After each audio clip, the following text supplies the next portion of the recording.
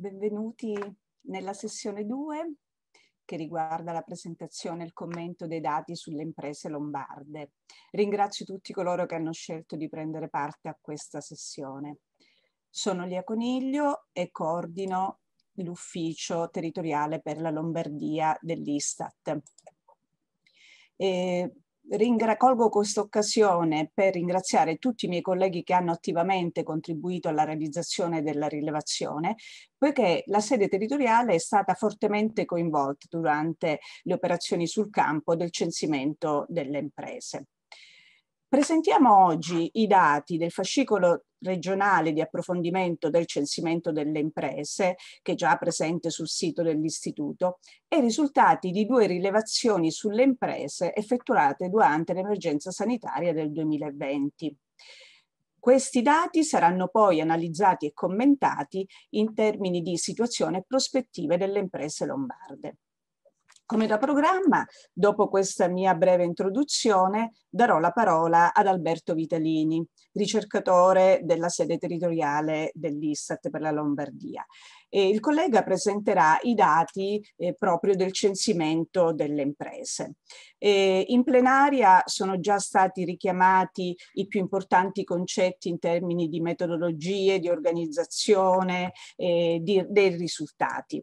Il censimento permanente delle imprese fa parte di un sistema più ampio del, eh, dei censimenti permanenti economici, di cui fanno parte il censimento dell'agricoltura struttura che è in corso attualmente, il censimento delle istituzioni pubbliche, anche questo in corso, e il censimento delle istituzioni no profit che sarà svolto l'anno prossimo. E questi censimenti hanno ovviamente modalità diverse e anche cadenze, frequenze differenti.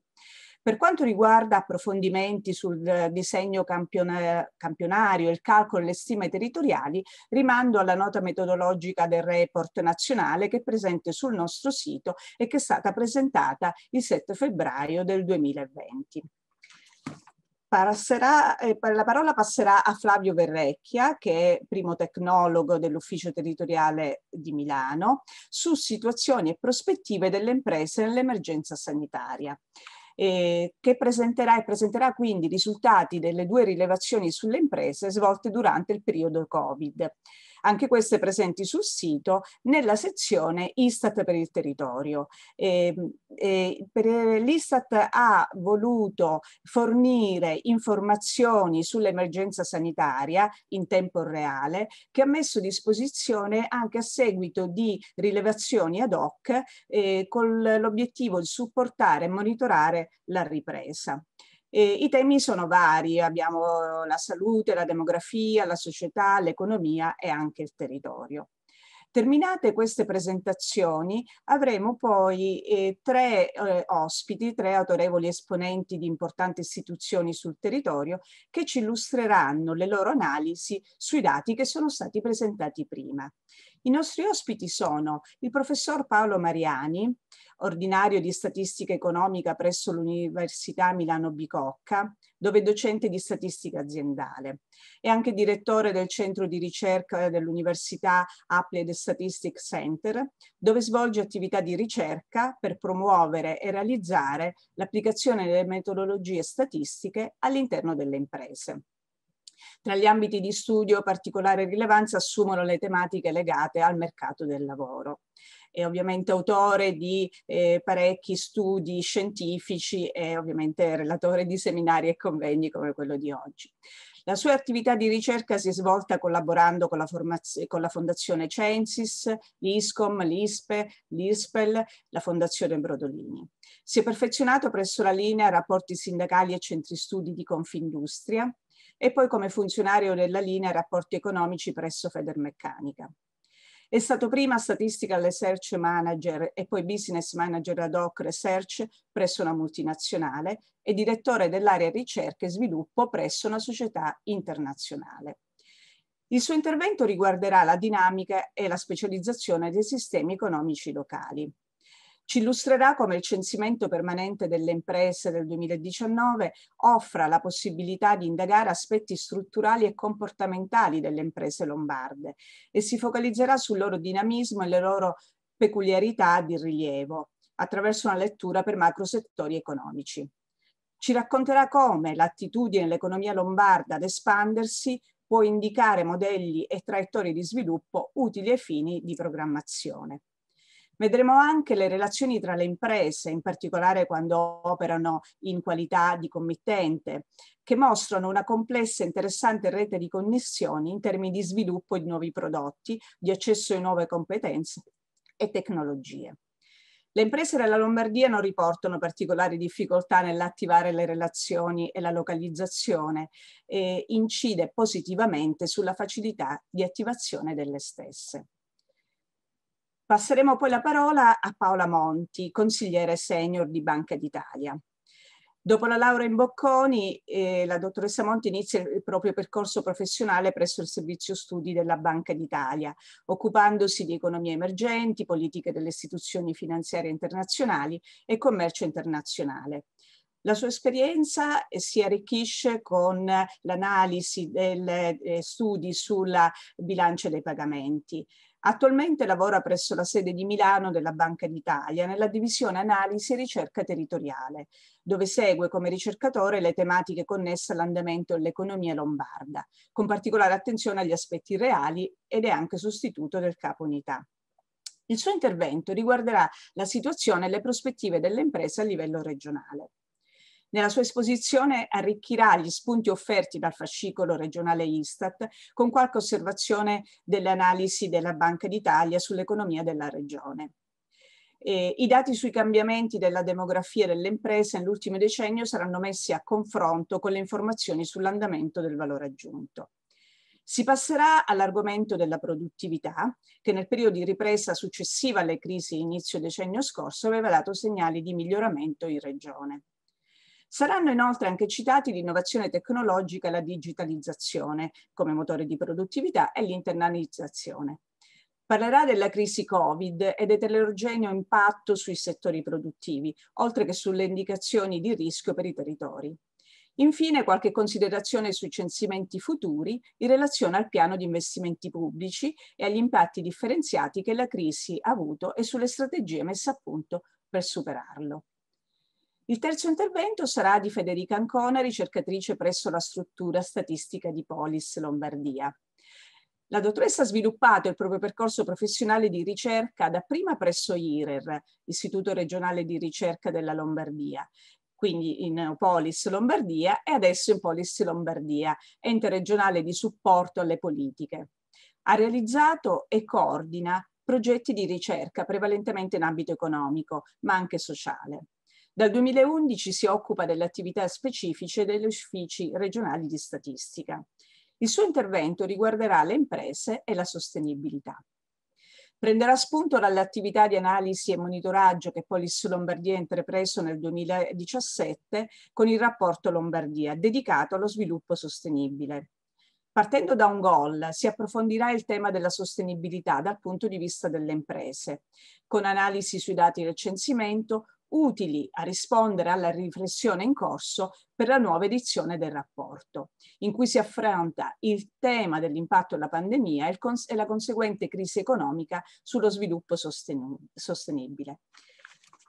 Dal, terminati questi interventi inizia lo spazio dedicato alle domande, dove qualsiasi partecipante può porle proprio nella, mh, trovate lo spazio dedicato nella barra eh, in basso nella schermata, nella schermata di collegamento a Zoom. Prima di, eh, prima di, iniziare gli interventi vorrei porre l'attenzione su cinque indicatori che reputo molto importanti per quanto riguarda la nostra regione. Il 50% delle imprese, con tre addetti in più, investono in capitale umano e formazione. Quasi il 65% delle imprese, sempre con tre addetti in più, investono nella riduzione dell'impatto ambientale. Sono impegnate in progetti di innovazione quasi il 44%, quasi il 44% delle imprese, sempre con tre addetti e più. A seguito del Covid, il 19% delle imprese hanno migliorato o hanno introdotto la comunicazione interna digitale e il 35% delle imprese con 10 addetti in più vendono anche su mercati dell'Unione Europea. Avvio, termino la mia introduzione e avvio quindi la presentazione dei dati, ricordando ai relatori rispetto dei termini fissati del programma, eh, considerato anche che siamo in ritardo eh, rispetto appunto alla, ai tempi fissati. Ringrazio tutti e do la parola al collega Vitalini per il primo intervento di presentazione dei dati. Grazie. Buongiorno, condivido lo schermo. Iniziamo subito la presentazione.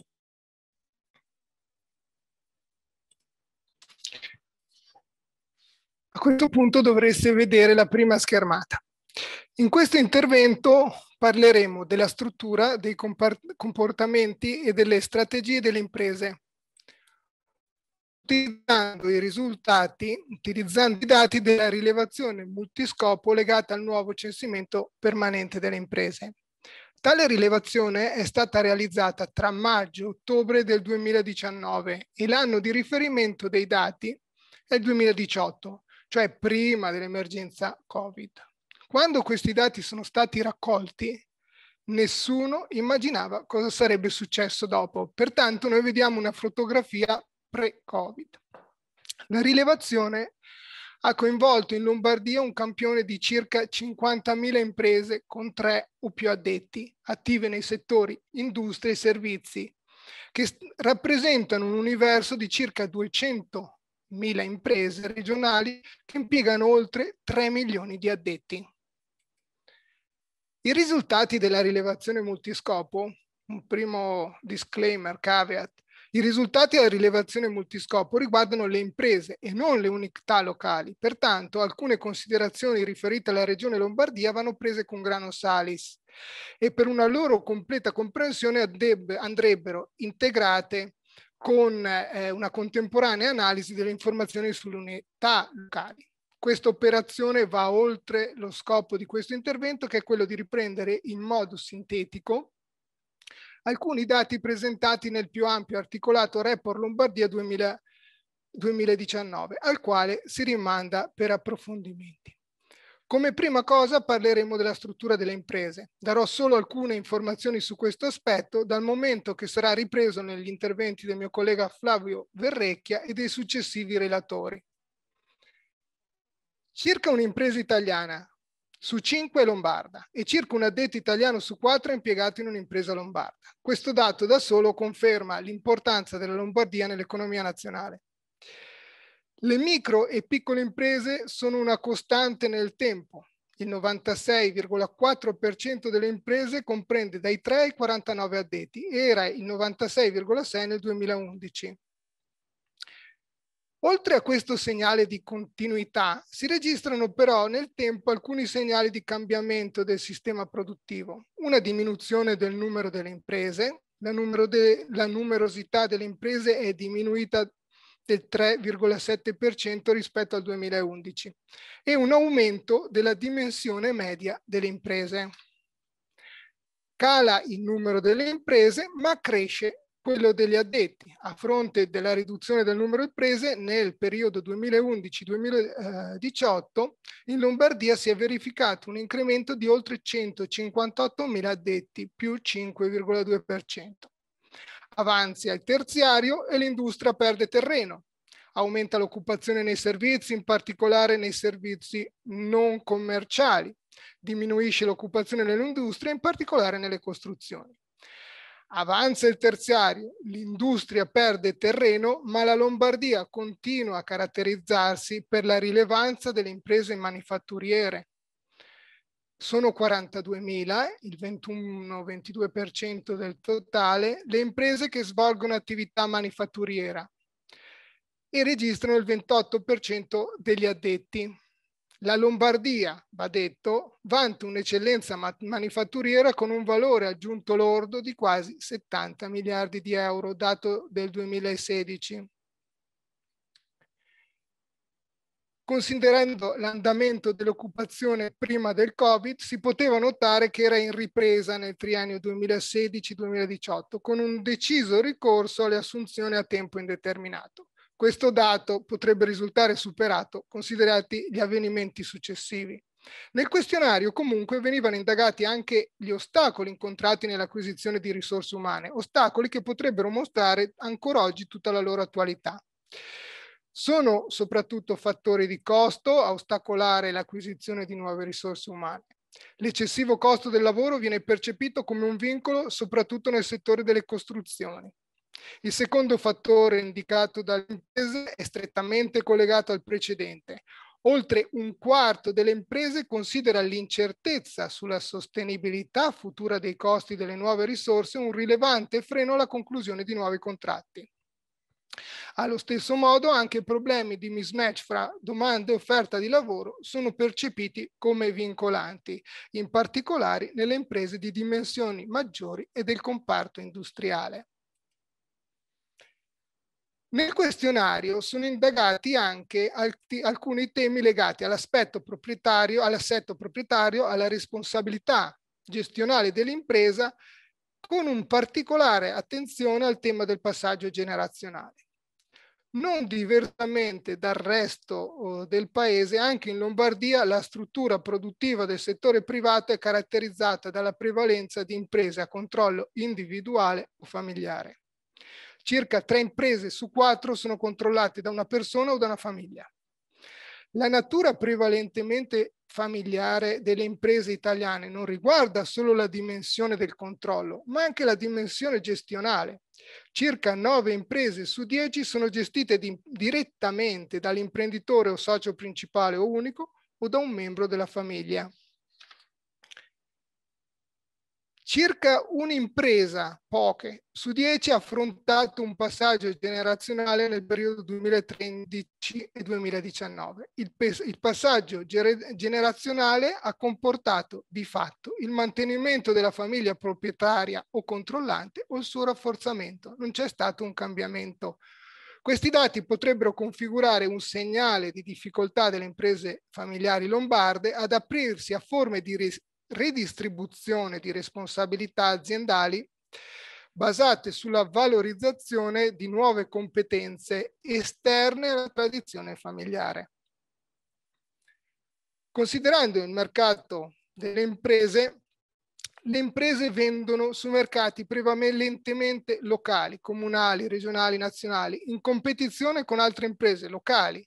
Circa due imprese su tre vendono e hanno concorrenti in Lombardia circa un'impresa su tre vende in paesi dell'Unione Europea, una su quattro in altri mercati europei non UE e solo una su otto nel resto del mondo. Le conclusioni non variano sostanzialmente se si analizzano i dati anche rispetto all'area di localizzazione dei principali competitori, competitors. L'ampiezza del mercato di riferimento cresce al crescere della dimensione aziendale, come era logico immaginarsi, e anche il raggio d'azione varia in funzione del settore produttivo. Nel comparto industriale una quota compresa fra circa il 42% e il 55% opera su mercati extra UE e UE, cioè il comparto industriale è spinto verso l'esterno. Se si considerano le priorità delle imprese lombarde, troviamo ai primi due posti la difesa della posizione di mercato e l'aumento dell'attività in Italia. E coerentemente con l'informazione della slide precedente, troviamo all'ultimo posto l'aumento di attività all'estero. Nel questionario è approfondito anche il tema della delocalizzazione, che può essere uno strumento di conquista di, di nuovi mercati. La delocalizzazione produttiva coinvolge una minima cioè, percentuale di imprese, 1588, 3%, 3% circa. La delocalizzazione avviene più frequentemente, come è ben noto, nel comparto manifatturiero e è di tipo leggero, cioè la maggior parte delle forme di delocalizzazione consistono nella stipula di accordi o contratti e non in investimenti diretti nel paese. Inoltre, spesso i prodotti realizzati all'estero tornano in Italia. Considerati questi dati, la scelta di delocalizzare non sembra essere la, eh, motivata principalmente dalla possibilità di conquista di nuovi mercati. Le imprese e la competizione. Nel gioco economico le imprese sono in competizione fra di loro. Nel questionario si è chiesto alle aziende di valutare la propria capacità competitiva e quali erano i loro punti di forza e di debolezza competitiva. Le imprese intervistate si sentono competitive. Nel 2018 oltre il 72% delle imprese con 10 addetti e più ritiene che la propria capacità competitiva è più o meno uguale a quella dei concorrenti e il 17% addirittura più forte. Su cosa puntano le imprese? In media sempre. Puntano sulla qualità dei beni e servizi e sulla professionalità e competenza del personale, più che sul prezzo di vendita o, o altri strumenti come la diversificazione dell'offerta. Come elementi di debolezza competitiva invece incontriamo il peso degli obblighi amministrativi e burocratici e la mancanza di risorse finanziarie.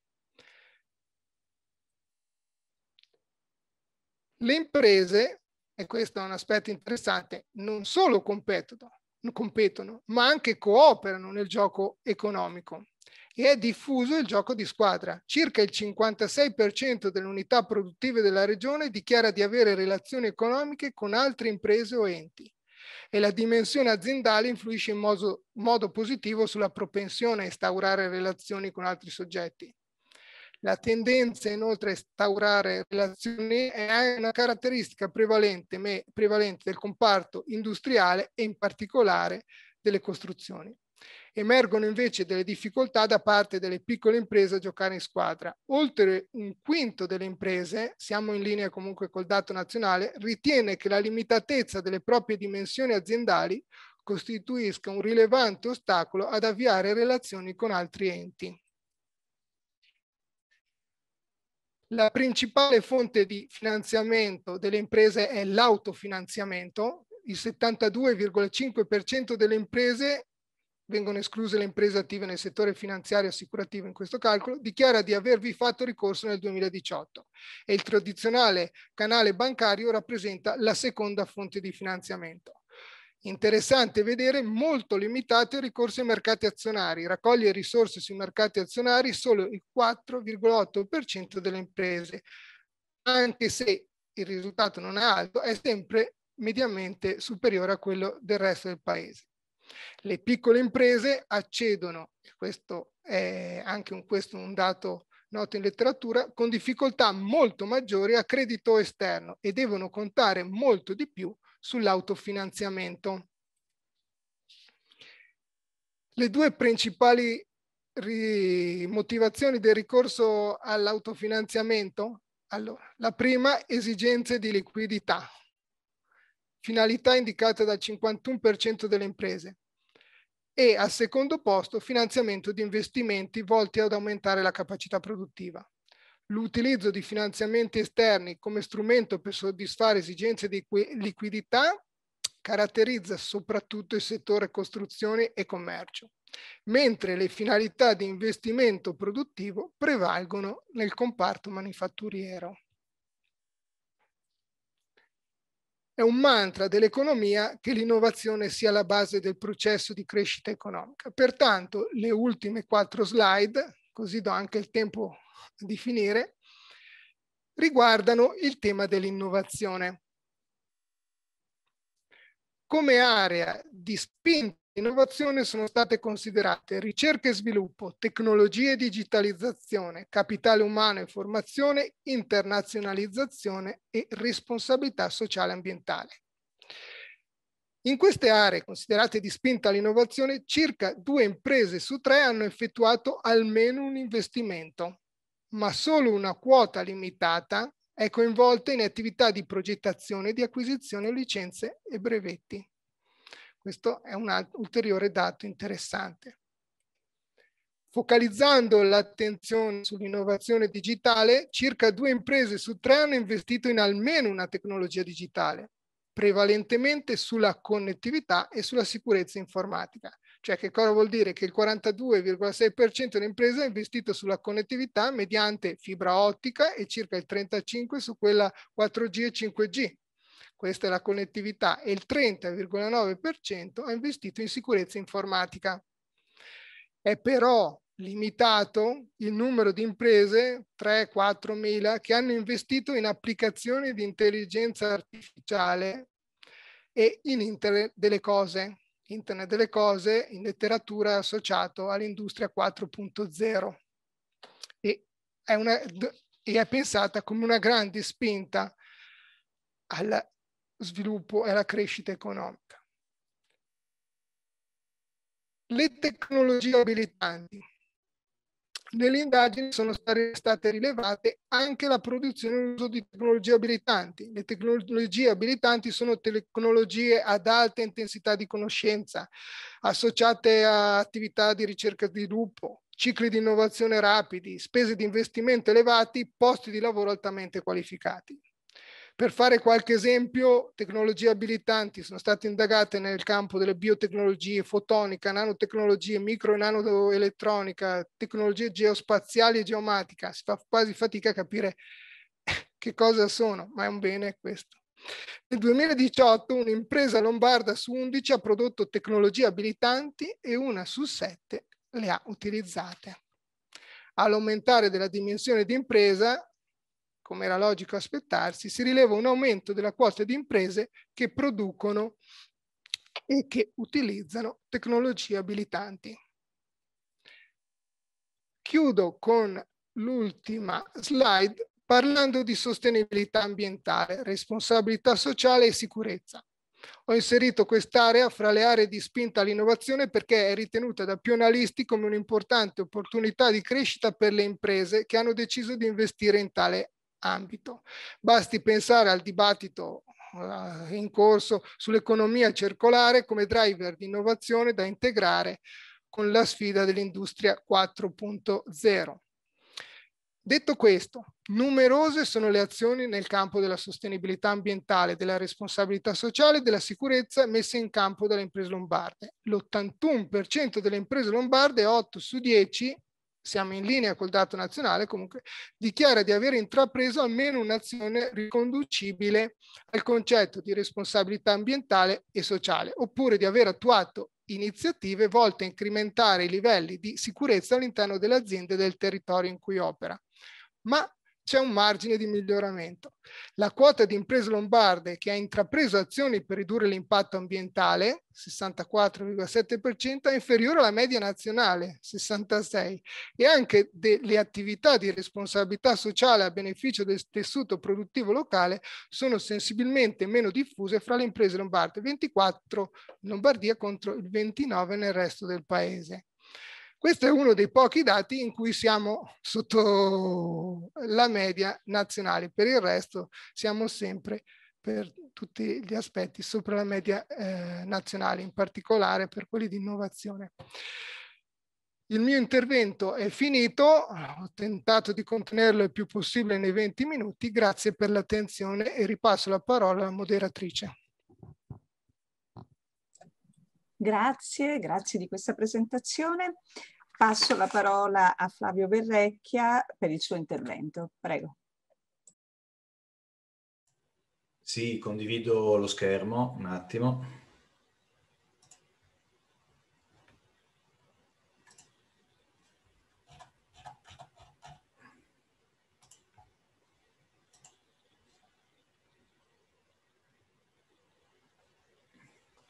Dovrebbe vedersi.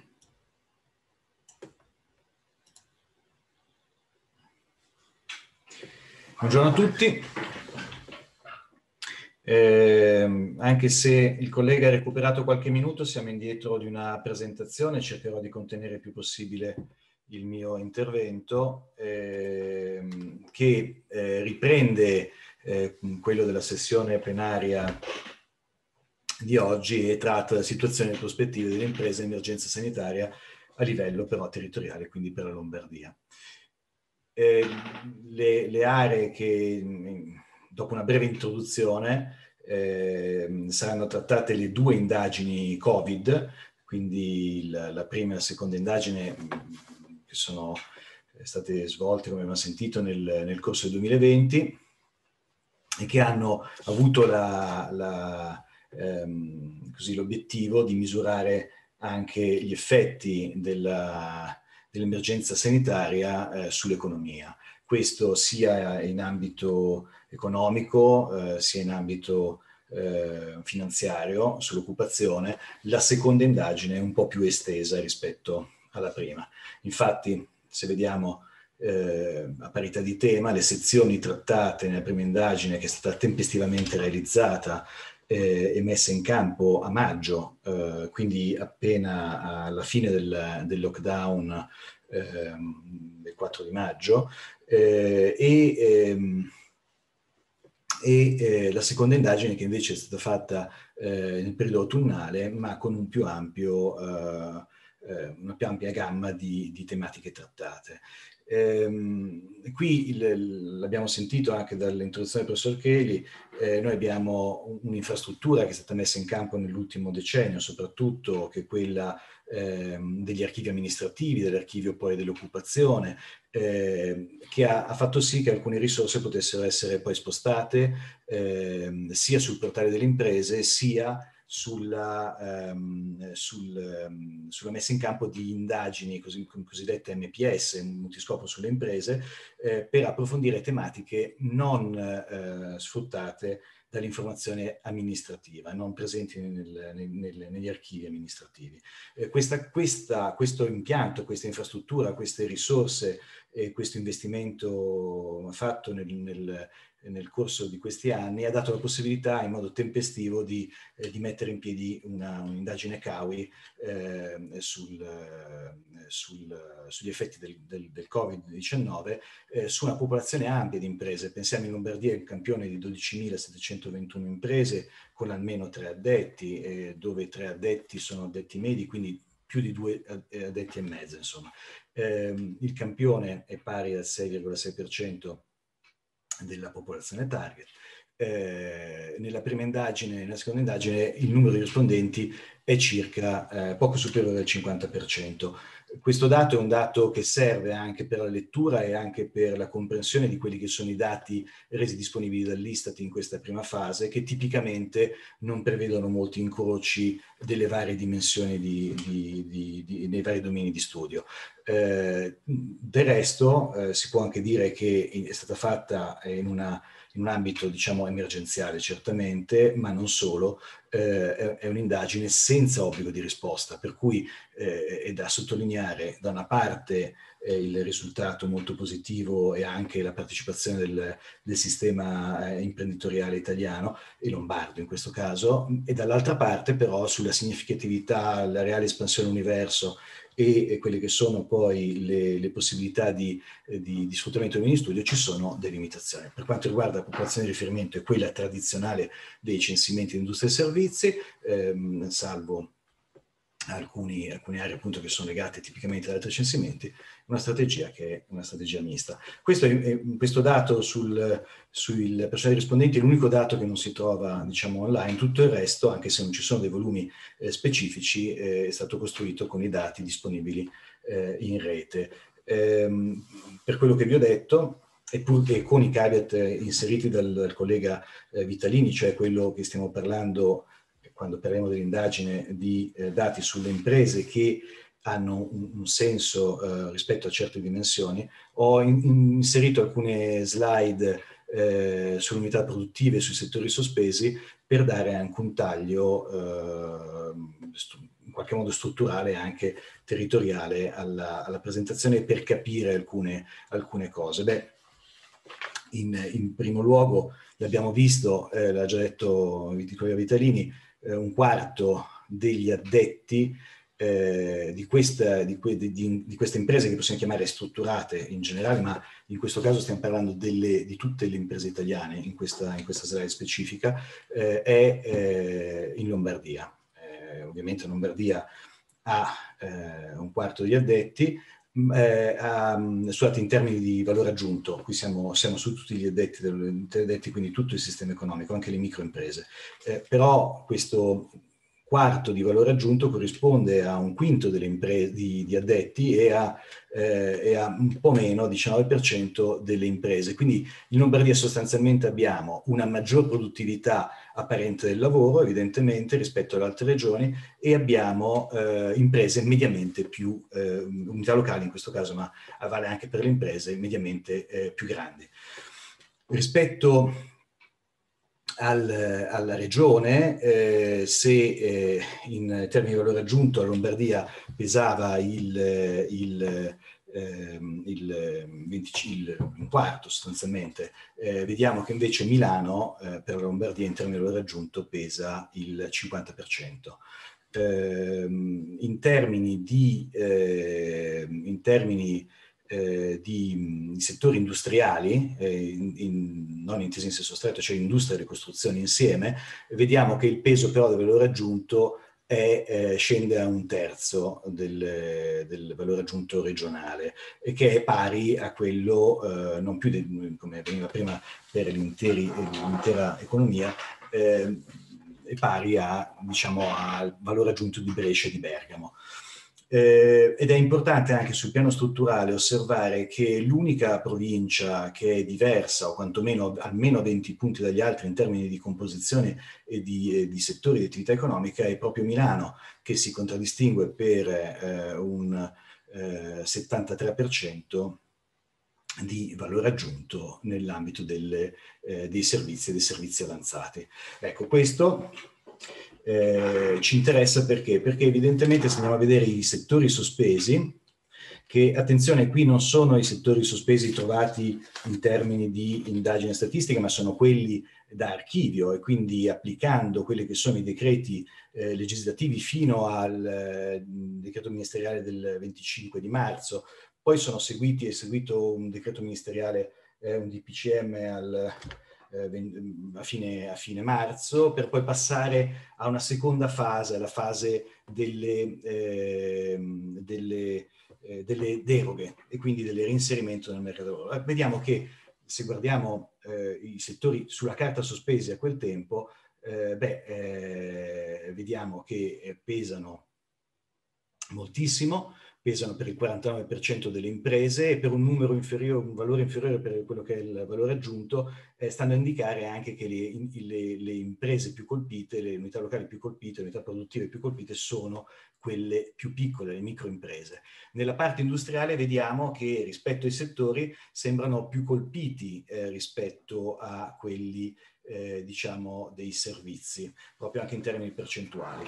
Se guardiamo le eh, province, guardiamo, concentriamoci direttamente sul valore aggiunto, vediamo che i settori sospesi così sulla carta sono meno eh, nel Pavese e sono ehm, in misura molto maggiore nel, nel, eh, nel Bresciano e a Lecco. Guardando le filiere di attività economica eh, ci si rende conto subito che nel Pavese abbiamo un 20% dell'economia industriale che è sulla filiera alimentare e su quella, ehm, e su quella della chimica e della farmaceutica.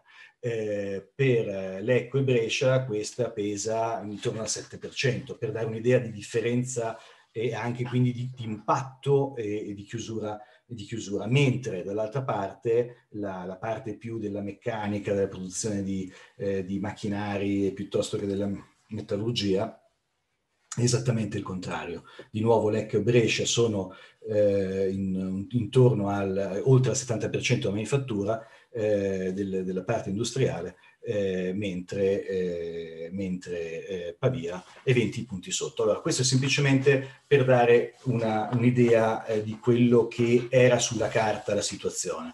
Dopodiché, entrando invece nell'indagine, quindi con, nelle imprese con eh, tre addetti ed oltre, vediamo che la situazione è quella, intanto quella già ricordata da, dal collega Vitalini, un quarto di questi addetti sono in Lombardia, di imprese lombarde, attenzione, eh, c'è una differenza tra imprese lombarde e unità locali ed è una differenza, differenza importantissima eh, proprio per la regione dove appunto le unità locali eh, delle imprese della Lombardia sono anche in altri territori. Qua parliamo di imprese perché l'indagine eh, va a investigare anche tematiche che hanno un senso a livello di impresa ma che poi sul piano territoriale servono alcune eh, accorgimenti per la lettura. Benissimo, un quarto sono eh, in, in, Lombardia con una dimensione di impresa eh, importante, 17 eh, addetti per impresa, eh, proprio per, eh, per, il fatto che sono imprese mediamente più grandi. Da, entrando nelle, nelle tematiche dell'indagine. Qui eh, c'è sempre la fonte nelle, nelle, schermate che appunto sono dati che riguardano la prima indagine Covid e la seconda indagine Covid. Beh, alla fine del lockdown in Lombardia, per le imprese di 3-9 addetti, non lo dico più, sono queste, sono quelle che hanno questa struttura, eh, solo il 27%, e quindi un'impresa su quattro fondamentalmente, è rimasta sempre attiva. Questo vuol dire che rispetto ai dati che abbiamo visto prima, eh, i decreti che hanno seguito, quelli del 25 al, data del 25 marzo, hanno eh, determinato restrizioni ulteriori. Eh, compaiono poi eh, delle, delle, imprese che sono, del, delle unità produttive che sono riprese prima del 4 maggio, del, del 4 maggio e queste anche per, eh, da, da, aprile in poi sono arrivate le cosiddette deroghe, quindi in qualche modo sono, sono, sono ripartite eh, prima del, del, del 4 maggio.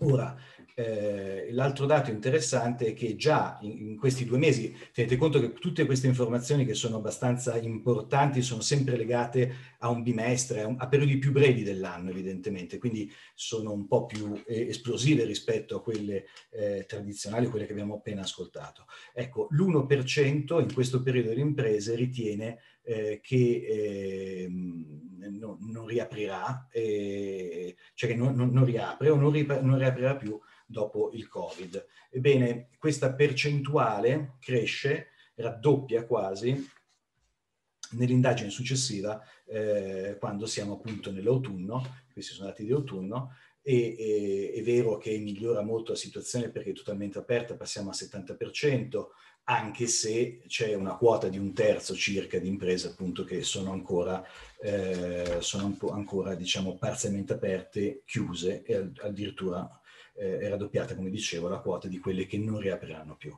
Ebbene, i, i settori più colpiti, eh, abbiamo visto anche un po' nella plenaria, ma vengono ripresi, certo c'è la costruz- le costruzioni nella parte di industria in senso allargato, le agenzie viaggio, le attività artistiche, sportive, culturali, i servizi alla persona, i servizi alloggio, la ristorazione. Cioè ci sono tutta una serie di servizi che sono anche del, soprattutto dei servizi che hanno visto Ehm, eh, diciamo, con le restrizioni prolungarsi nel tempo.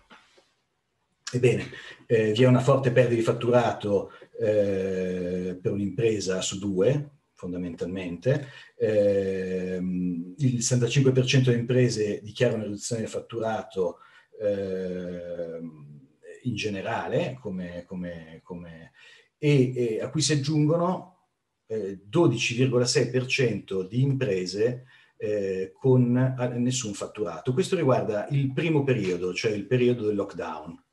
E se la situazione migliora nel periodo successivo, perché evidentemente le, questi, questi, queste, queste, percentuali traslano in qualche termine, eh, nell'ambito delle aspettative invece eh, cresce il numero di imprese eh, che eh, prevede nessun fatturato o comunque un calo superiore al 50%.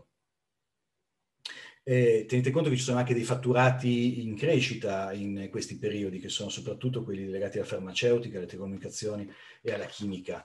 Eh, quindi ci sono ovviamente alcuni settori che hanno anche beneficiato da questa, da questa situazione. Eh, quali sono le, le motivazioni? Ehm, del calo di fatturato nel periodo? Beh, eh, la, la, la, principale motivazione è il calo della domanda causato dalle restrizioni, ma anche in più in generale il calo della domanda interna ed estera eh, in, in, in generale. Teniamo conto che i decreti eh, governativi hanno previsto una, una, riapertura immediata dopo il 4 maggio per il sistema industriale nel complesso, ma invece per la parte dei servizi è stata eh, una scelta differente che conosciamo benissimo.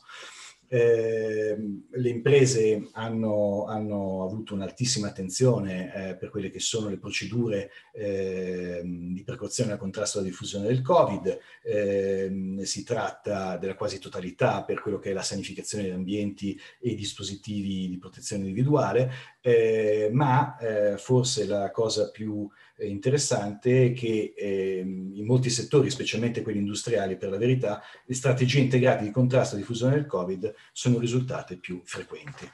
Per quanto riguarda eh, gli spazi di lavoro, molte imprese hanno dovuto adattare, in particolare eh, il 55,8% delle imprese ha modificato eh, o sta modificando gli ambienti di lavoro eh, e mh, ci sono eh, ci sono dei settori che sono più in difficoltà di altri nell'adattamento, che sono tipicamente eh, quello delle costruzioni e anche la dimensione gioca un ruolo. Infatti le microimprese sono più in difficoltà in tal senso. Per quanto riguarda i costi, eh, generalmente o spesso sono stati considerati eh, importanti per le unità produttive, ma non mi dilungo.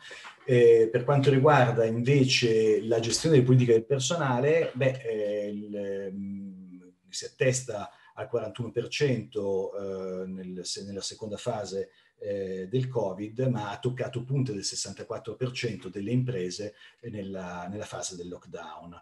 Mm, ancora importanti eh, le, le, percentuali, le quote di imprese che usano le ferie e altre misure temporanee eh, e quindi eh, evidentemente ehm, ci sono ancora un quarto delle imprese che le usano. Il, lo smart work che è arrivato a toccare, come abbiamo visto, un quarto eh, delle, delle imprese anche in Lombardia eh, è sceso comunque a quote eh, più elevate rispetto a quelle diciamo della, eh, da cui sono partite. Infatti vediamo dopo un'impennata di marzo-aprile è scesa la quota di imprese, di, di personale in smart work e le imprese che eh, ne fanno eh, ne fanno uso, ma evidentemente è rimasta a livelli di 4-5 volte superiori a quelli da cui è partita. Per quanto riguarda gli effetti dello smart work ehm, eh, sono eh, positivi eh, in relazione alle, alle, nuove tecnologie e al benessere eh, del personale, ci sono effetti negativi sulle relazioni interpersonali eh, dei lavoratori, eh, sull'efficienza aziendale e sulla produttività in generale. Per quanto riguarda gli aspetti finanziari, due aspetti. Eh, in generale, la mancanza di liquidità è uno dei principali effetti della crisi e lo strumento più diffuso per, per soddisfare il fabbisogno di liquidità è certamente il eh, nuovo debito bancario. Eh, ci sono anche delle forme mh, eh, poco, con frequenze molto basse, ma ci sono anche delle forme, diciamo, ehm, eh, innovative come l'equity per modificare le passività in termini eh, appunto di, di, di, equity. Per quanto riguarda i prestiti assistiti da garanzia pubblica, sono stati eh, richiesti eh, da un terzo delle imprese e le motivazioni, generalmente vedete questo grafico eh, l'attività corrente è quella che ha avuto le motivazioni eh, più forti, mentre i costi fissi non comprimibili, anche in questo caso ci sono state molte aziende che li hanno valutati, eh, ha preso questi prestiti con questa motivazione, mentre i costi di adeguamento dei protocolli sanitari eh, non sono state tra le eh, tra le motivazioni delle aziende. Eh, crescono, la connettività a banda larga era già eh, presente in modo importante, cresce e la, eh, la, la tecnologia, in realtà la, la, la, la, crisi pandemica è stato un, un, acceleratore della trasformazione digitale delle imprese, ma certamente la banda larga è stata la base di quelle che sono le trasformazioni in generale, perché senza la connessione tutte le altre eh, innovazioni eh, sarebbero state evidentemente eh, meno, meno, meno eh, sosten- non sostenute da, da questa, da, dalla connessione. Quindi una crescita importante di sistemi e applicazioni di videoconferenza, finalizzate poi, lo sappiamo benissimo, lo smart work, una crescita del servizio pubblico, eh, delle comunicazioni digitali al pubblico, eh, quindi miglioramento del sito web che era già diffuso e di web analytics e strumenti di ottimizzazione come i canali social sono incrementati e eh, anche eh, i canali di vendita online, anche se poi quello più utilizzato alla fine è l'email e Facebook. La sintesi di queste, la sintesi, eh, di queste eh, diciamo, dell'utilizzo per Covid eh, e l'incremento delle tecnologie possiamo identificare intanto quattro tipologie, ma soprattutto un'area matura, che è quella rossa della tecnologia di connessione, eh, un'area eh, che è quella verde, eh, che è quella delle, delle, della comunicazione esterna, pratica di comunicazione esterna, che, eh, che in qualche modo è matura per i siti web e in evoluzione per quello che riguarda i canali social eh, i servizi, i, gli strumenti di ottimizzazione e l'area gialla che è quella eh, basata del, sul, sullo smart, quindi i servizi di virtual machine come la parte cloud server, che ha avuto una, un'evoluzione importantissima e se anche sono cresciute invece la parte di e-commerce, di piattaforme eh, come Amazon, con piuttosto che strumenti di pagamento ehm, o quantomeno di commercializzazione elettronica, vediamo che quell'area è in, in, in sviluppo, eh, che ha avuto un'evoluzione grazie alla crisi pandemica, ma diciamo che è ancora in sviluppo. Per quanto riguarda le ultime slide eh, della presentazione, vi sono certamente da una parte dei problemi operativi eh, determinati dalla prolungata pandemia, che sono mh, mm, fondamentalmente il rischio liquidità, eh, ma anche un rischio operativo importante, ma vi sono anche delle strategie eh, messe in campo dalle aziende e, e anche uno, lo spiazzamento. Lo spiazzamento, eh, laddove c'è una, una, una strategia che cresce poi in autunno, eh, certo ci sono delle pre- imprese immuni in, tra queste, ma ci sono anche spia- eh, imprese spiazzate eh, per motivi di pianificazione, di organizzazione, gap di mismatch di competenze piuttosto che di finanziamento. Abbiamo delle strategie di contrazione, per esempio quelle di, di sostanziale riduzione dei, dei, dipendenti, delle strategie di espansione come quella di produzione di nuovi beni e servizi come, relativi al, al um, al, al medesimo Ateco piuttosto che eh, la, l'ampliamento dei canali di vendita e così via. Eh, io concludo questa carrellata, spero di essere stato nei tempi, lasciando questa, queste note conclusive eh, con alcune delle, delle, informazioni che vi ho raccontato, sintetizzate eh, in, una, in, una, in, una, slide di, di, di summary. Eh, ringrazio per l'attenzione e passo la parola al moderatore.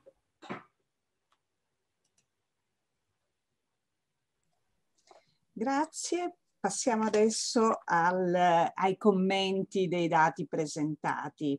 Eh, inizia qui, come già detto prima, il professore Paolo Mariani dell'Università Bicocca. Prego, professore. Grazie. Molte grazie.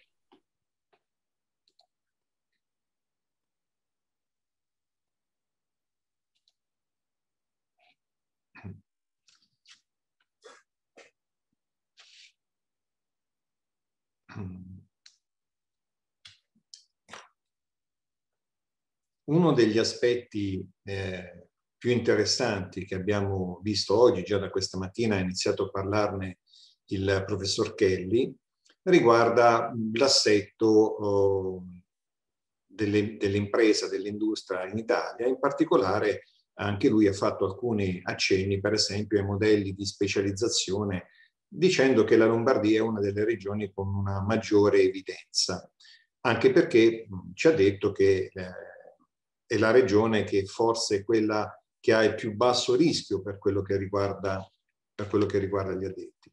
Noi cercheremo di fare eh, una breve panoramica per quello che riguarda la dinamica e la specializzazione dei sistemi economici locali, ovviamente eh, focalizzandoci sulla, sulla Lombardia. Ne approfitto prima di iniziare eh, la relazione per ringraziare gli organizzatori e i partecipanti alla sessione. Quindi l'obiettivo è quello di offrire una prima lettura della situazione delle imprese in Lombardia, ovviamente, attraverso un'analisi dei principali risultati del censimento permanente delle imprese. Eh, guarderemo insieme una serie di eh, di indicazioni che riguardano l'analisi dinamica della componente regionale strutturale, eh, la specializzazione settoriale del nostro sistema economico locale, e faremo dei focus sulla relazione tra le imprese. Oggi se ne è parlato parecchio, eh, mi rifaccio anche alla, alla presentazione fatta dal dottor Vitalini che ha parlato di questo gioco di squadra attraverso relazioni, quindi va un po' ad esaltare queste relazioni verticali di filiera e cercheremo di vedere anche con un altro punto di vista come queste attività vengono poi misurate dalla rilevazione che ha effettuato l'Istat. Quindi i motivi della relazione, le principali difficoltà nell'attivare queste relazioni, cosa succede all'interno delle aree funzionali e quali sono le imprese partner che vengono attivate. Questo è un po' il modello che intendiamo perseguire oggi. Per quello che riguarda uh, la dinamica, uh, utilizzeremo una tecnica nota che si chiama shift and share, che scompone la variazione assoluta della variabile economica occupazione, che in questo caso per noi è l'ammontare degli addetti, proprio nella nostra regione. Eh, possiamo farlo perché abbiamo a disposizione due istanti temporali, abbiamo il 2011 e il 2018 e quindi possiamo applicare questo tipo di analisi, pur ovviamente con tutte le cautele che il metodo comporta. Eh, questa analisi ci consente di scomporre la variazione assoluta del, del, dell'ammontare degli addetti in tre componenti fondamentali. La prima componente è quella nazionale, che misura l'apporto alla crescita regionale attribuibile all'andamento complessivo dell'economia nazionale. La seconda componente è quella strutturale, che dà invece l'effetto della maggiore o minore presenza nella nostra regione, all'inizio del periodo considerato, di settori produttivi che nel sistema economico nazionale poi sono risultati a più rapida crescita. L'ultima componente è quella regionale, che misura l'attitudine dell'economia lombarda ad espandersi più o meno di quanto ci si dovrebbe attendere in rapporto alla sua struttura produttiva iniziale se ogni settore di attività in esame si sviluppasse con la stessa misura del corrispondente settore a livello nazionale. Il quadro della nostra regione è abbastanza evidente, questo è il confronto con l'Italia, la tabella dei dati dalla quale eh, sono partito per poter effettuare questa misura, sono gli addetti appartenenti al campo di osservazione dimensionale e settoriale del censimento per macrosettore economico, quindi Lombardia e Italia, per i due anni in valore assoluto. Ovviamente eh, mi rifaccio a quello che è già stato detto prima eh, anche dalla dottoressa Coniglio, tutta la parte che riguarda la metodologia è disponibile in Istat, quindi non, non ci soffermeremo su questo aspetto. La dinamica regionale, quella legata al numero degli addetti, indica nel segno una sostanziale assonanza con quella nazionale. Di fatto, quando in Italia alcuni settori crescono, succede lo stesso in Lombardia potremmo dire anche viceversa. I servizi non commerciali segnalano una crescita superiore a quella degli altri macro settori economici, anche in relazione al dato Italia, anche questo è emerso. Le costruzioni mostrano una riduzione significativa e l'industria, così come definita, presenta una contrazione pari circa un terzo del totale nazionale. Anche questo era stato evidenziato nello scenario introduttivo. Aumentano energia e acqua, oltre al commercio, all'ingrosso e al dettaglio. Quindi questo è lo scenario di base eh, all'interno del quale ci muoveremo. Andando a vedere la diversa eh, composizione delle componenti della shift and share, beh, possiamo vedere che la componente nazionale è fortemente presente in tutti i macro settori economici e quindi è sicuramente il driver di lettura. Vuol dire che buona parte della componente nazionale viene gestita anche dalla nostra regione. La componente strutturale indica una partecipazione limitata, ma sempre positiva, alla dinamica dei macrosettori economici. L'aspetto più interessante riguarda la componente regionale, perché risulta rallentata in particolare nel macrosettore delle costruzioni, ma anche nell'industria e nel commercio, pur permanendo positiva nei servizi non commerciali, nell'energia, gas e acqua. Si può vedere dal grafico qui che vedete in basso sulla destra come la componente locale, questa in grigio, effettivamente eh, ha una, una, una, un valore eh, negativo per quello che riguarda il commercio all'ingrosso al dettaglio, le costruzioni e il totale dell'industria. Questo aspetto del, del, totale industria eh, cercheremo di indagarlo ancora meglio. Eh, prima facciamo una piccola verticalizzazione per quello che riguarda la localizzazione. Dicevo, ne ha parlato il professor Kelly, ha parlato della specializzazione, noi utilizzeremo un coefficiente di localizzazione eh, che fornisce elementi ovviamente di giudizio sulla specializzazione settoriale dei sistemi economici locali.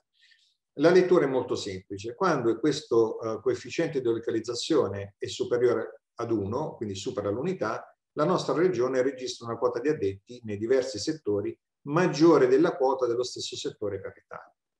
Quando il quoziente risulta inferiore ad 1 vuol dire che la Lombardia registra una quota di addetti nei diversi settori minore della quota dello stesso settore capitale. Per essere più chiari, eh, in questo grafico vedete riportati dopo aver fatto, dopo aver traslato, quindi l'origine degli assi in questo caso è il valore unitario, è 1, vediamo come nel primo quadrante si posizionano il commercio all'ingrosso e il dettaglio, il totale industria, escluse costruzione, energia, acqua. Beh, questo ovviamente era un po' atteso, però è interessante vederlo rappresentato. Vuol dire che sono i due settori che hanno una specializzazione maggiore rispetto a quella della nostra Italia. I servizi commerciali che vedete qui in, nel secondo quadrante riportano eh, una specializzazione in questo caso più elevata nel secondo periodo, nel 2018. Qui vedete che l'asse delle eh, ACIS riporta il quoziente di localizzazione del 2011 e l'asse dell'ordinata il quoziente di localizzazione del 2018. Mentre permangono in un quadrante, nel terzo quadrante decisamente inferiore all'unità, le costruzioni, energia e acqua. Quindi se volessimo un po' provare a tirare le fila, l'industria vede una specializzazione maggiore di quella italiana. In entrambi gli anni, pur se in diminuzione rispetto al valore del 2011. Qui basterebbe fare una bisettrice per vedere che effettivamente si trova al di sotto. Il commercio si presenta specializzato sui periodi in esame con una posizione di rilevanza per, 2000, per il 2011, l'abbiamo visto, è questo qui, i servizi non commerciali aumentano il valore del coefficiente nel 2018, mentre le costruzioni accentuano la diminuzione della specializzazione nel 2018 e invece l'energia acqua, anche se in basso, mostra piccoli miglioramenti, ovviamente pur rimanendo con valori molto contenuti. A questo punto potremmo concentrarci su uno di questi macro settori. In particolare, il, guardando il profilo dei macro settori, ci accorgiamo eh, che presenta una sostanziale assonanza con quello della grande ripartizione territoriale di appartenenza, il nord-ovest e dell'Italia, ma l'industria esprime il valore maggiore in termini di relazioni. Qui stiamo parlando, come aveva già anticipato il dottor Vitalini, delle relazioni che ci possono essere all'interno delle aziende. Cioè vorremmo provare a capire eh, quanto poi queste imprese in, in, uh, si, si, siano preparate, anche non conoscendo l'esito ovviamente della pandemia e neanche l'arrivo della stessa, fossero un po' già eh, legate tra di loro, pronte a lavorare con modelli di tipo relazionale. E vediamo che la Lombardia eh, eh, pur avendo un profilo tutto sommato assonante con la macro ripartizione con l'Italia, si presenta più elevata per il totale dell'industria. A questo punto eh, non dirò più escluse costruzione, energia e acqua, perché altrimenti sforeremo i tempi, come ci ha ricordato il eh, dottor Verrecchia, quindi proviamo a ridurre un poco. Eh, lo sviluppo di nuovi prodotti e l'accesso alle nuove competenze e tecnologie posizionano la Lombardia prima delle altre geografie di riferimento. E questa è una cosa molto interessante perché come vedete eh, questi due valori sono il 22.5 e il 16.8 di gran lunga superiori al riferimento Italia ma anche al nord-ovest. E il valore eh, contenuto eh, rispetto ai riferimenti spaziali invece che vediamo eh, della relazione dovuta all'accesso a nuovi mercati o clienti potrebbe suggerire che la regione Lombardia ha già un pregresso posizionamento delle imprese in questo campo. Quindi questo valore, eh, perlomeno dal, dall'indagine, sembra emergere eh, più legato ad una sostanziale presenza dell'accesso a nuovi mercati che non ad una carenza, quindi non mi serve così tanto la relazione perché in qualche modo la possiedo di già, ho già strutturato la mia azienda per fare questo. Sempre parlando con le imprese attive con tre più, eh, e più addetti, eh, siamo andati a vedere quali fossero i motivi della relazione. Beh, eh, l'industria chiede sviluppo di nuovi prodotti e processi. Ovviamente la riduzione dei costi è trasversale, eh, quindi si colloca al primo posto, ma assolutamente trasversale. L'organizzazione aziendale motiva una maggiore flessibilità. Ne ha già parlato il dottor Verrecchia prima di questo, quindi bisogna rimodulare l'organizzazione aziendale alla luce della pandemia e le imprese dell'industria vedono valori maggiori di quelli regionali sia in relazione all'accesso a nuovi mercati e clienti, sia per l'internazionalizzazione, anche se questi valori risultano allineati con le geografie di riferimento. Rimanendo sempre nella misura delle imprese attive con tre più addetti, andiamo a vedere quali sono state le principali difficoltà nell'attivare le relazioni sempre per macro settore economico. Sono le imprese industriali a dichiarare maggiori difficoltà di attivazione delle relazioni. Le imprese della Lombardia non riportano però particolari difficoltà nell'attivare queste relazioni.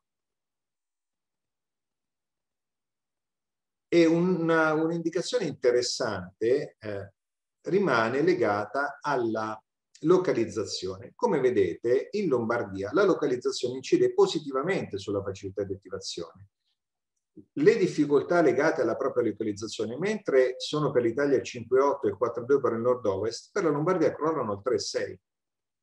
Quindi vuol dire che la localizzazione ha un aspetto importante. Ovviamente per le imprese permangono i vincoli dimensionali, ne abbiamo già parlato a lungo, sia a livello nazionale, sia per grande ripartizione territoriale, sia per regione. Nel dettaglio oh, dell'industria, eh, le imprese eh, industriali lombarde, abbiamo visto, presentano un vantaggio localizzativo. Le barriere legali, regolatorie o gli oneri burocratici amministrativi sono maggiormente percepiti nella regione per quello che riguarda l'industria. Pur dichiarando una sostanziale facilità di accesso nell'attivare le relazioni per l'industria, il valore è peggiore di quello riferito all'insieme dei settori. E questo è interessante da, da analizzare. Per le imprese permangono ancora i vincoli dimensionali sia a livello nazionale sia per grande ripartizione territoriale e sono ancora maggiori per la regione. È un profilo molto interessante quello della nostra regione il fatto di presentarsi di fatto con nessuna difficoltà, di poter fruire di un posizionamento localizzativo interessante, eh, ci porta sicuramente un vantaggio, eh, però poi viene eroso, ad esempio, da questo 9.6 delle barriere legali e così via. E anche questo è un punto su quale riflettere. Passando alle imprese attive con 10 e più addetti, invece, ora andiamo a vedere quali sono le relazioni in qualità di committente, ma per area funzionale interessata. Quindi va bene instaurare la relazione, ma con che area vado a instaurare questa relazione? Ovviamente anche in questo caso la Lombardia si presenta assonante con il profilo del nord-ovest dell'Italia, con un'evidenza particolare ovviamente per l'industria che non a caso abbiamo scelto poi come verticalizzazione. La maggiore area funzionale interessata dalla relazione ce l'aspettavamo all'attività principale, ma perché fa un po' da ombrello, fa un effetto alone, raccoglie molte, eh, molte azioni. Risaltano per la nostra regione la progettazione, la ricerca e sviluppo, l'innovazione e le tecnologie informatiche. È una direttrice molto, molto importante, l'ha già fatta vedere molto bene il dottor Verrecchia. Inoltre abbiamo un marketing particolarmente attivato. Eh, andando nel dettaglio dell'industria, eh, l'attività principale ovviamente permane al primo posto, con valori maggiori rispetto al totale dei due macrosettori. Ma in questo caso risulta ancora maggiore la percentuale per la progettazione, ricerca, sviluppo e innovazione. Quindi vuol dire che l'industria si è già indirizzata su quel versante. Le restanti aree funzionali sono interessate ovviamente, ma in linea con gli altri riferimenti spaziali utilizzati. Eh, andando a vedere chi sono le imprese partner, in questo caso quali sono i settori di attività economica delle imprese partner, eh, vediamo che l'industria permane sempre come riferimento nella lettura anche di questa, uh, di questa dimensione. Le imprese partner sono quelle legate agli altri settori manifatturieri in particolare e le attività professionali, scientifiche e tecniche sono indicate come partner in Lombardia in misura maggiore rispetto ad altre geografie. Il settore di attività economica, chimica e farmaceutica si distingue co come partner. Anche in questo caso il dottor Verrecchia prima ha parlato di Pavia. Non a caso, insomma, eh, l'indicazione è, è, è robusta. Il profilo regionale è più vicino a quello del nord-ovest che a quello nazionale. E anche in questo caso ci ritroviamo con le cose dette questa mattina nella plenaria, quando abbiamo visto le possibili eh, assonanze regionali all'interno di profili di impresa e di addetti. Anche all'interno dell'industria, nella verticalizzazione, le imprese partner sono quelle legate agli altri settori manifatturieri. Ne abbiamo già parlato, eh, relazioni verticali di filiera. Il settore attività economica, chimica e farmaceutica si distingue come partner per l'industria, l'abbiamo già indicato. La meccanica, l'elettronica e l'automotive presentano il valore maggiore per questa tipologia di relazione, quindi come committenza eh? e, e, come partnership. Anche questa è una cosa interessante da vedere, ma sappiamo ovviamente la meccanica ha, eh, in Lombardia annida molti localismi, quindi eh, è un punto di forza della nostra regione. Mi avvio rapidamente alle conclusioni per rimanere nei tempi. La Lombardia si presenta come una regione dinamica e in sostanziale assonanza con l'Italia, ma con alcune peculiarità di rilievo. L'attitudine dell'economia lombarda ad espandersi, più o meno di quanto ci si dovrebbe attendere in rapporto alla sua struttura produttiva iniziale, ha indicato un rallentamento, in particolare nel macrosettore delle costruzioni, ma anche nell'industria e nel commercio mentre permane positiva, l'abbiamo visto, nei servizi non commerciali e nell'energia e acqua. L'industria vede una specializzazione maggiore di quella italiana, pur se in diminuzione rispetto al 2011. Quindi c'è una contrazione, parliamo sempre di addetti, eh, non del numero di imprese. Anche il commercio si presenta specializzato ed i servizi non commerciali si rafforzano nel 2018. In termini di relazioni, lo sviluppo dei nuovi prodotti e l'accesso alle nuove competenze e tecnologie posizionano la regione prima delle altre geografie di riferimento, quindi prima del nord-ovest e prima dell'Italia. Tra le aree funzionali attivate dalla relazione con le imprese risaltano per la regione Lombardia la progettazione, la ricerca e sviluppo, l'innovazione e le tecnologie informatiche con un marketing particolarmente attivato. In Lombardia le imprese non riportano particolari difficoltà nell'attivare le relazioni e abbiamo visto che la localizzazione incide positivamente sulla facilità di attivazione delle stesse. Le attività professionali, scientifiche e tecniche sono indicate come partner in Lombardia in misura maggiore rispetto alle altre geografie. Il quadro è confortante, il quadro pre-pandemia. Sembra darci un ampio substrato per poter essere anche più confidenti in un'effettiva ripresa. Molte grazie, sono a disposizione per le domande. Molte grazie. Grazie, grazie professore, confidiamo tutti in questa ripresa. Allora, la parola adesso alla dottoressa Paola Monti di Banca d'Italia, prego.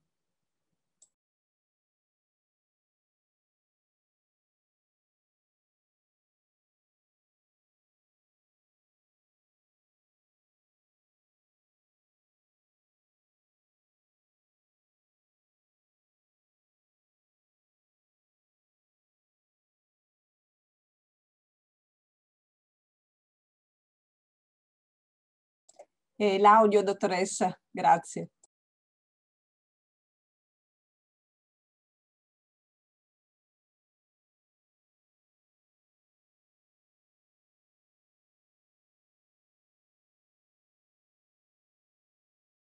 Si è forse bloccata l'icona.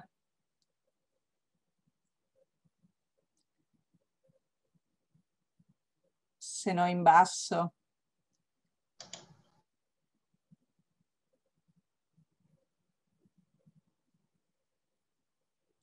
Non so se la regia può eventualmente... Sì, proviamo a verificare cosa sia successo, un attimo di pazienza. Grazie.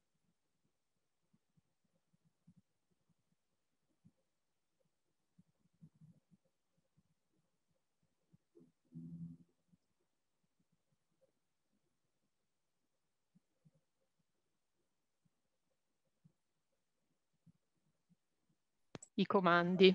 Ecco, mh, dottoressa Monti può ricondividere gentilmente, probabilmente sì. abbiamo avuto qualche problema. Perfetto. Eccoci, forse dovremmo esserci, mi sentite adesso?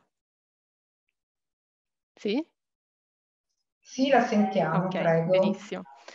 Allora, innanzitutto eh, ringrazio l'Istat per aver organizzato questo evento di divulgazione dei risultati del censimento e per aver invitato la Banca d'Italia a contribuire. L'evento serve a far conoscere lo strumento, uno strumento che promette di contribuire a dare in tempi più rapidi informazioni accurate, comparabili a livello europeo e sperabilmente anche con maggior dettaglio de eh, territoriale.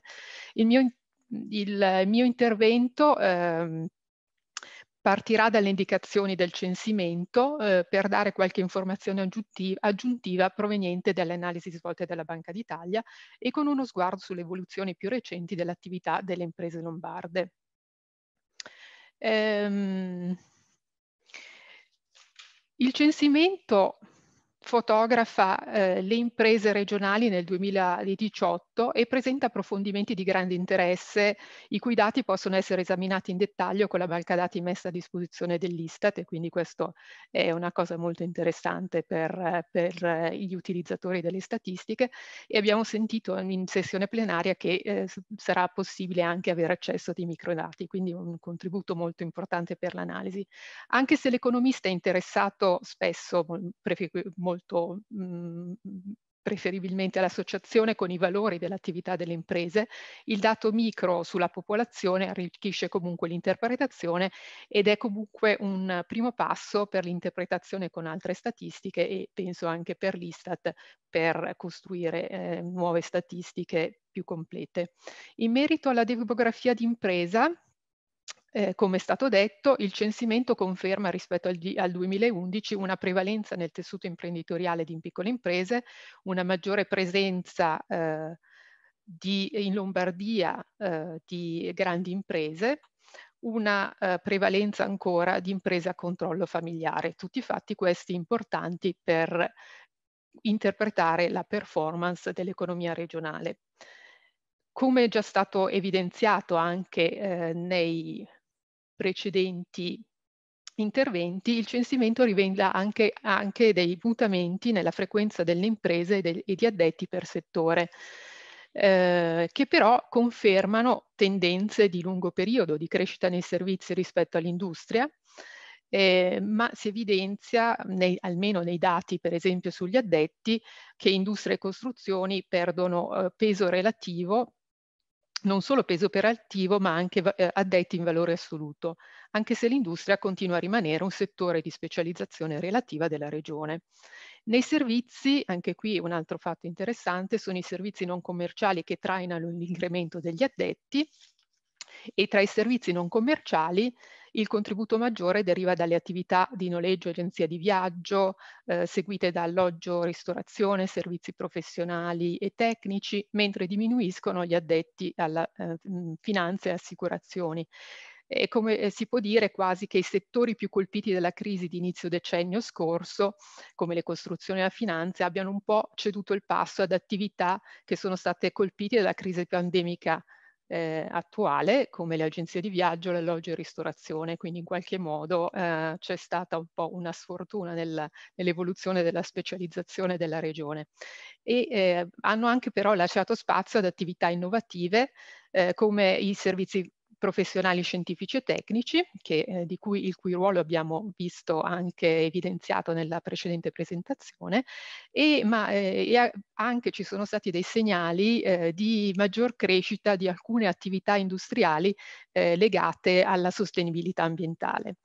Come si diceva, l'economista può essere interessato non solo al, al numero delle imprese, agli addetti, ma anche al valore che eh, le imprese, il valore economico che le imprese eh, producono e considerando il valore aggiunto, le, i cambiamenti strutturali, il messaggio non cambia molto anche se la dif la differ le differenze nelle variazioni dei settori diventano meno accentuate e l'industria risulta invece eh, continuare a dare un contributo positivo alla crescita del valore aggiunto, mentre si ridimensiona abbastanza il, il contributo eh, dei servizi non commerciali.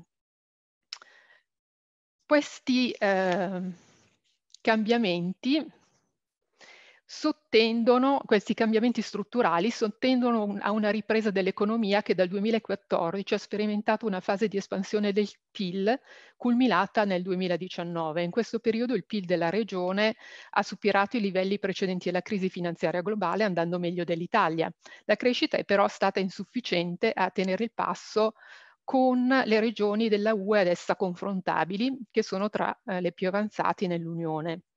Le nostre analisi indicano anche che nella fase di ripresa la Lombardia aveva iniziato a colmare il divario di crescita rispetto alle, alle regioni di confronto, anche grazie a un recupero della produttività del lavoro, come si può vedere nel, nel grafico di destra, il quadratino rosso che è un po' aumentato rispetto alla fase precedente, alle fasi precedenti meno per la Lombardia e eh, questo recupero di produttività del lavoro poi è, è, è in un'altra analisi che non riporto, eh, c'è un segnale che derivava anche da un aumento della produttività totale dei fattori, che è, un miglior, è una migliore misura dell'efficienza di utilizzo degli input, quindi segnali positivi pre-pandemici.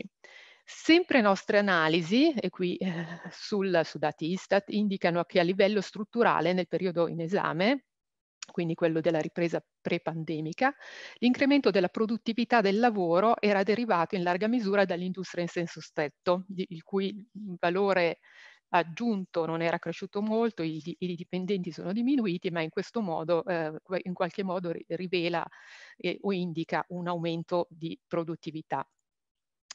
E, e, e, e, questo non a caso, in quanto eh, l'industria è anche uno dei comparti più sottoposti alla concorrenza internazionale e più propenso all'innovazione, come emerge anche dagli approfondimenti del censimento su innovazione, tecnologia, mercati delle imprese che sono stati presentati in precedenza. Distinguendo per dimensioni di impresa, le imprese lombarde hanno anche mostrato una, una, produttività superiore alla media italiana e del nel nord-ovest che è riscontrabile nelle diverse classi dimensionali, con vantaggi particolarmente marcati tra le imprese più piccole, come si vede nel grafico a destra, negli istogrammi eh, più um, a, a, sinistra nel gruppo, da, per esempio, dalle, delle imprese con 0,9 dipendenti e via via discendendo. Um, ho citato l'innovazione tecnologica e l'internazionalizzazione come possibili canali di incremento della produttività perché permettono o stimolano un più efficiente uso degli input e un miglioramento una diversificazione dei prodotti e dei processi. Eh, non ripeto le indicazioni del censimento che sono state precedentemente esposte eh, molto brillantemente, ma ehm, per aggiungere qualche informazione appunto proveniente dalle nostre analisi secondo, che aveva rilevato nel 2017 e 2018 eh, un, un, incremento degli investimenti in tecnologie avanzate che sono appunto eh, quelle internet mobile o cloud, eh, internet of things, intelligenza artificiale, big data, robotica, eh, stampa 3D quindi in tutte queste tecnologie le imprese eh, della, della, regione avevano aumentato gli investimenti e nel 2018 circa il 60% delle imprese avevano fatto un, si, un simile investimento. Ovviamente la, la, frequenza maggiore si aveva per quelle eh, che, eh, per le imprese che avevano investito in queste nuove tecnologie fino al 20% del totale dei loro investimenti. Ehm, Riguardo all'attività innovativa che risultava nel, nel, nel, censimento un po' meno frequente in Lombardia, anche le nostre analisi e che, che, con, con, dati che, che eh, comparano eh, con indicatori che possono essere comparati anche a livello europeo, indicano eh, che eh, la spesa, mentre la spesa in ricerca e sviluppo delle imprese lombarde era cresciuta nel periodo post, mh, post crisi finanziaria, quindi qui abbiamo dati del periodo 2013-2017 ed era superiore alla me media italiana, ma la distanza eh, dalle, dalle regioni della UE di confronto permaneva. Tuttavia i risultati in termini di output risultavano più in linea con quelli europei, il grafico di destra, con eh, un'eccezione per i brevetti, mentre barchi, design, un'innovazione di prodotti e processo, copubblicazione con pubblico e privato non erano particolarmente distanti dai dati di, di altre, eh, di, di altre eh, aggregazioni di paesi da, e superiori, tendenzialmente superiori all'Italia. Uh, il censimento sui temi mercato e delocalizzazione produttiva conferma anche la vocazione della regione eh, all'internazionalizzazione. Eh, abbiamo, abbi abbiamo, avuto ampie informazioni in, in merito all'ampiezza del, mer del, mercato delle, delle, regioni che evidenzia come eh, l'internazionalizzazione sia selettiva, più frequente nell'industria in senso stretto e correlata positivamente con la dimensione di impresa e relativamente poco frequente per le imprese della Lombardia e anche nazionali che tendono ad avere il loro mercato nel, nel mercato regionale. Eh, su questo ehm, e anche la presenza all'estero è un fenomeno per pochi, soprattutto per la presenza più strutturata.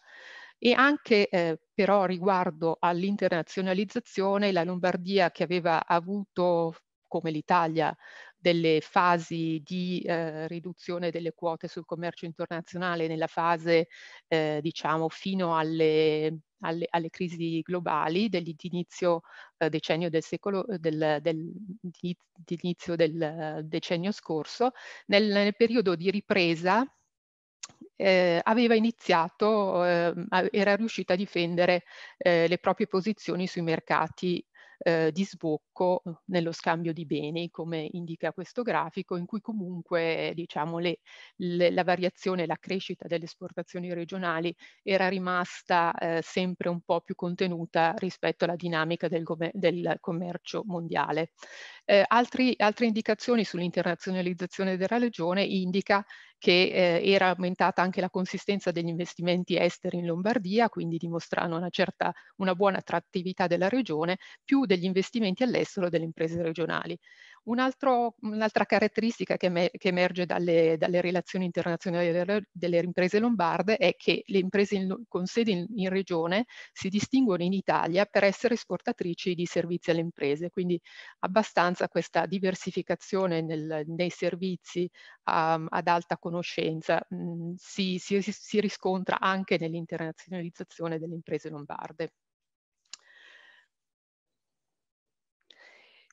Purtroppo eh, adesso iniziamo ad arrivare a che cosa? Alla, alla nuova fase e eh, la, la, pandemia ha colpito eh, l'economia lombarda più, eh, prima e più di altre regioni d'Italia e la ripresa in atto fino al 2019 si è tradotta in una brusca contrazione eh, come indica il dato italiano pubblicato dall'Istat, eh, che è stata superiore a quella degli altri paesi avanzati della UE e che secondo informazioni al momento disponibili sarebbe eh, stata invece eh, più anche più marcata in, in Lombardia.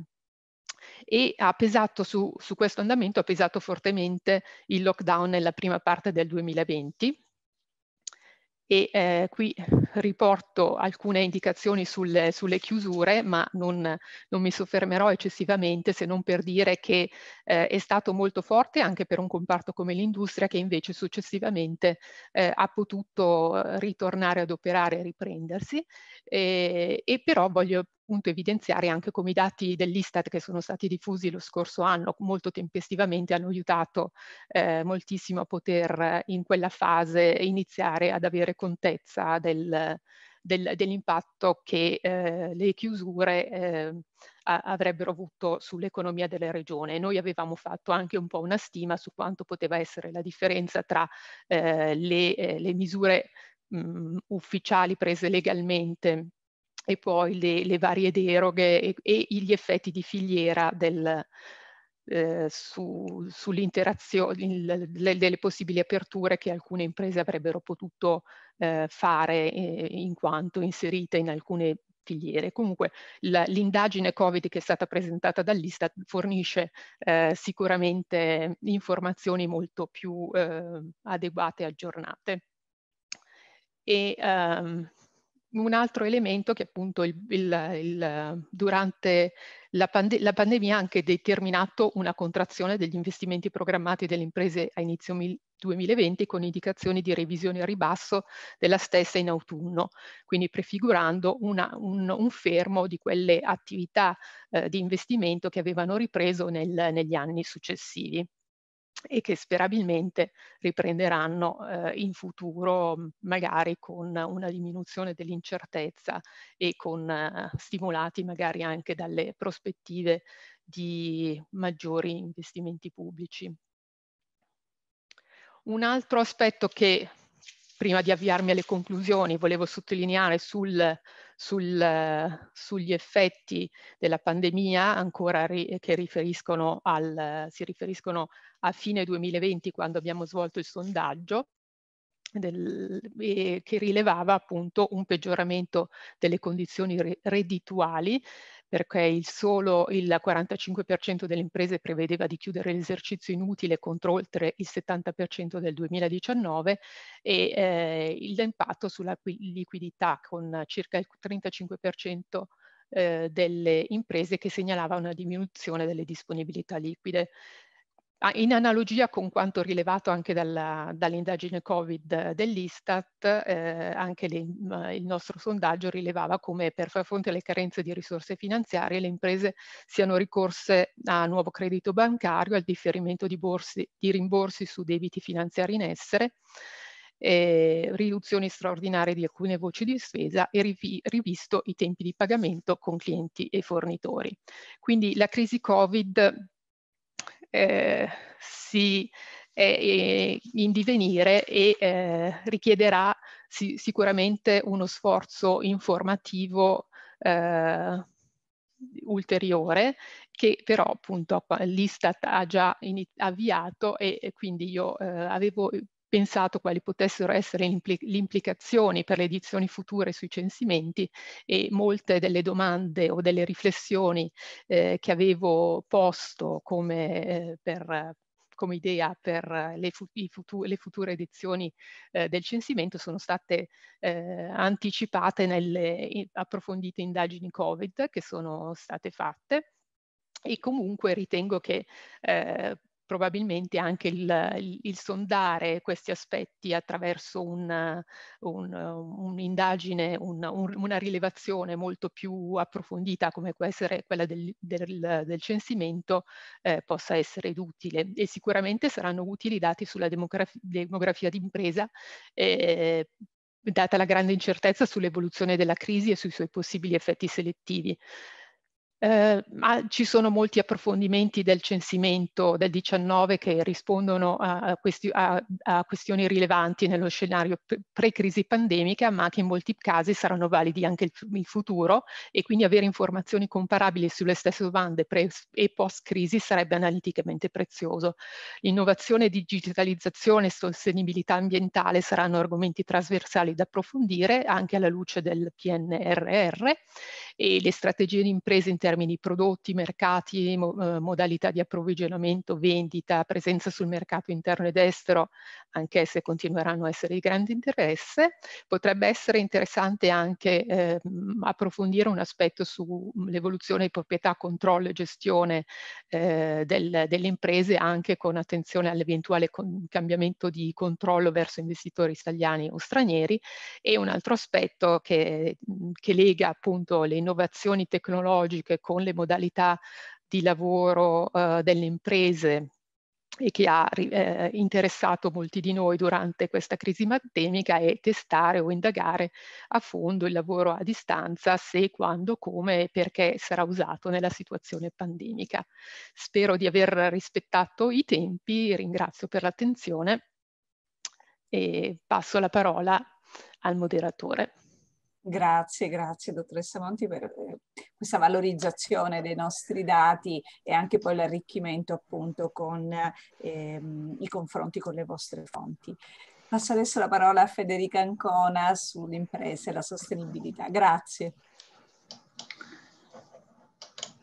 Buongiorno a tutti, mm, mi associo eh, ai ringraziamenti che... Eh, che, mm, di, per, per, parte, per, l'invito, per l'organizzazione di questo invento e ehm, eh, cercherò di eh, non rubare troppo tempo, vista anche la tarda ora, e semplicemente eh, mio, la mia presentazione si concentrerà su un, una tematica che è quella lega, del, del, dello, della sostenibilità, dello sviluppo sostenibile. Questo perché il, nostro, il mio ente a cui appartengo, Polis Lombardia, che è un, è un ente regionale che si occupa di supporto alle politiche, ehm, ha intrapreso da tempo, ha iniziato nel 2000 2017 un, ehm, la, la, predisposizione di un rapporto eh, dedicato proprio a questa tematica e eh, soprattutto in una chiave di eh, di, eh, di tipo regionale,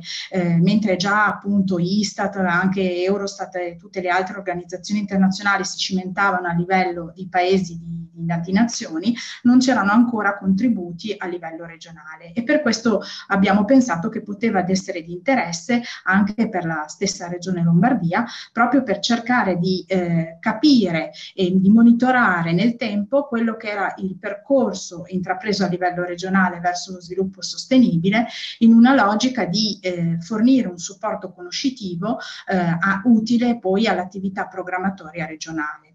Eh, il nostro rapporto, adesso non entro nel, nel nello specifico, però è articolato in capitoli, uno per ogni goal, e, e anche, ehm, propo, propone anche un confronto della, della, della Lombardia eh, rispetto ai 21 paesi eh, della UE che appartengono all'Ocse, quindi paesi più sviluppati, consapevoli che questo confronto sembra ardito, ma eh, sicuramente per dimensione e peso economico la Lombardia può tranquillamente essere eh, paragonata con, con eh, altri paesi europei.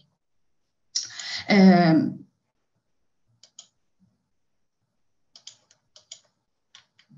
scusate. Eh, eh, ad esempio, qui a, a, titolo esemplificativo ho fatto riferimento a uno solo di, di goal, poi ovviamente sono trattati tutti. Qui eh, ho preso questo perché eh, è il goal dedicato al consumo responsabile, al consumo e alla produzione responsabili e eh, quindi si applicava la, bene alla tematica del giorno perché eh, è trasversale e ha ricadute su qualsiasi eh, settore di attività. E inoltre ehm, nel nostro nostro capitolo l'abbiamo ehm, affrontato eh, usa, um, concentrandoci sul tema del, eh, del, del, binomio risorse e rifiuti che è alla base del sistema produttivo e che diventa di grande attualità e anche eh, può diventare sempre più critico. Um, eh, per quanto riguarda eh, il posizionamento, qui vi propongo un, un grafico che abbiamo realizzato nel, nell'ultima edizione del rapporto, eh, in cui paragoniamo eh, rispetto a, ad alcuni indicatori um, che um, affrontano il tema appunto della, eh, della raccolta dei rifiuti, dei rifiuti um, posizioniamo la regione rispetto a questi paesi, ai 21 paesi dell'Ocse UE, della UE appartenenti all'Ocse e eh, come potete vedere la Lombardia eh, presenta un buon posizionamento rispetto a questo indicatore eh, e eh, soprattutto anche eh, ben posizionata rispetto al corrispondente indicatore nazionale eh, e ehm, questo, questo, nel tempo si è ha mantenuto questo posizionamento e ehm, ci auguriamo che possa mantenerlo anche nei prossimi anni. Um, Mentre invece nello specifico eh, un altro indicatore che abbiamo usato solo per analizzare la situazione eh, lombarda e quindi non più in confronto con i paesi eh, europei è quello della eh, propensione delle imprese ad adottare eh, pratiche so, eh, sostenibili utilizzando, ehm, ci rendiamo conto che può essere limita limitativo ma ci, ci è sembrato interessante comunque come un contributo all'analisi il numero di eh, organizzazioni imprese che, hanno, che sono, eh, hanno, sono registrate, eh, mh, mm, hanno ottenuto la, la, la, certificazione EMAS, la certificazione ambientale. Ehm, nel, secondo il dato del 2019 che era fermo a giugno, questo è sempre relativo all'edizione 2020 del nostro rapporto, ehm, erano 214 i soggetti registrati, quindi un dato ancora molto contenuto, però è interessante in relazione vedere al panorama nazionale come comunque la Lombardia eh, rappresenta eh, il totale delle, delle, certificazioni lombarde è oltre il 20% di quelle del totale nazionale e eh, il dato è in, incoraggiante perché era in crescita rispetto al dato del 2018 e quindi eh, eh, è un, come, come dicevo un, segnale incoraggiante. Eh, si tratterà di vedere nel proseguo con l'impatto della pandemia se questo percorso eh, proseguirà. Eh, poi, eh, proprio perché eh, ci stiamo concentrando e ci siamo concentrati su queste tematiche, quindi sul tema della sostenibilità, abbiamo eh, utilizzato molto con grande, con grande interesse i dati che eh, Istat ha messo a disposizione del censimento delle imprese eh, per approfondire questo, questo tema, eh, consapevoli che il fatto che ehm, sono, eh, fotografano la situazione, come è già stato ricordato, pre-pandemia, però ci sembrava utile a eh, co corredare il quadro che avevamo già eh, un po' ricostruito con altre fonti e qui ehm, vi riporto un, un un, un, un, approfondimento di analisi che abbiamo fatto su quello che emerge dal censimento in relazione alle azioni che sono state intraprese dalle imprese con tre più addetti eh, che, eh, a favore della sostenibilità. Sono state circa il 65% e ehm, queste sono anche state analizzate in relazione alla classe dimensionale. Ovviamente ehm, il numero di azioni o il, tipo, la, il coinvolgimento risulta maggiore al crescere della dimensione aziendale, come era facile prevederlo. Eh, e, è interessante vedere che eh, tra le iniziative, la, la, tra le principali eh, iniziative eh, riguarda quello di ehm, revisione, di ridisegno del processo produttivo e quello dell'adozione di nuovi modelli di produzione che eh, ha interessato il 25, un quarto delle, delle grandi imprese e, e eh, soltanto um, circa un 12%, un 13% 13% delle piccole, piccole imprese. Poi di nuovo il tema della certificazione ambientale che interessa oltre la metà delle grandi imprese, mentre invece eh, si riduce eh, un po' meno del 40% nelle medie e l'11% nelle micropiccole. E poi eh, a seguire abbiamo il tema del, dei, della compilazione dei bilanci o delle rendicantazioni che dal, passa dal 30% nelle grandi imprese fino a un 3% nelle micropiccole imprese. Eh, Ehm, per quanto riguarda, um, poi abbiamo um, utilizzato ulteriori informazioni presenti nel censimento eh, che riguardano eh, il tema degli investimenti, quindi un coinvolgimento eh, rilevante da parte dell'impresa eh, in termini di sostenibilità, che dà conto di quanto l'impresa è coinvolta in, sul tema della sostenibilità e eh, in questo caso si tratta di un 42% di imprese, eh, sempre con con tre più addetti che hanno effettuato, hanno dichiarato di aver effettuato investimenti per la gestione efficiente e sostenibile dell'energia e dei trasporti. E eh, tra, eh, come è evidenziato nel grafico, tra le eh, misure che hanno trovato maggior spazio ci sono quelle dell'installazione, della sostituzione dei, di impianti eh, o apparecchiature più efficienti, ehm, ehm il 31% circa, ehm, circa un 10% 13% gli investimenti hanno riguardato l'isolamento termico degli dentifrici la loro realizzazione, la loro, o la loro realizzazione eh, a basso consumo energetico, e, mentre invece meno realizzate sono le, le misure che riguardano l'installazione di impianti per la cogenerazione, produzione di energia termica o la produzione di energia elettrica. Eh, un, altro, un, altro, contributo eh, che ci è stato fornito da, da, dalle informazioni del censimento è quello eh, del, del, del, delle azioni che hanno preso le, le imprese per, eh, in, per, ridurre il consumo di risorse naturali e anche eh, eh, per gestire i rifiuti.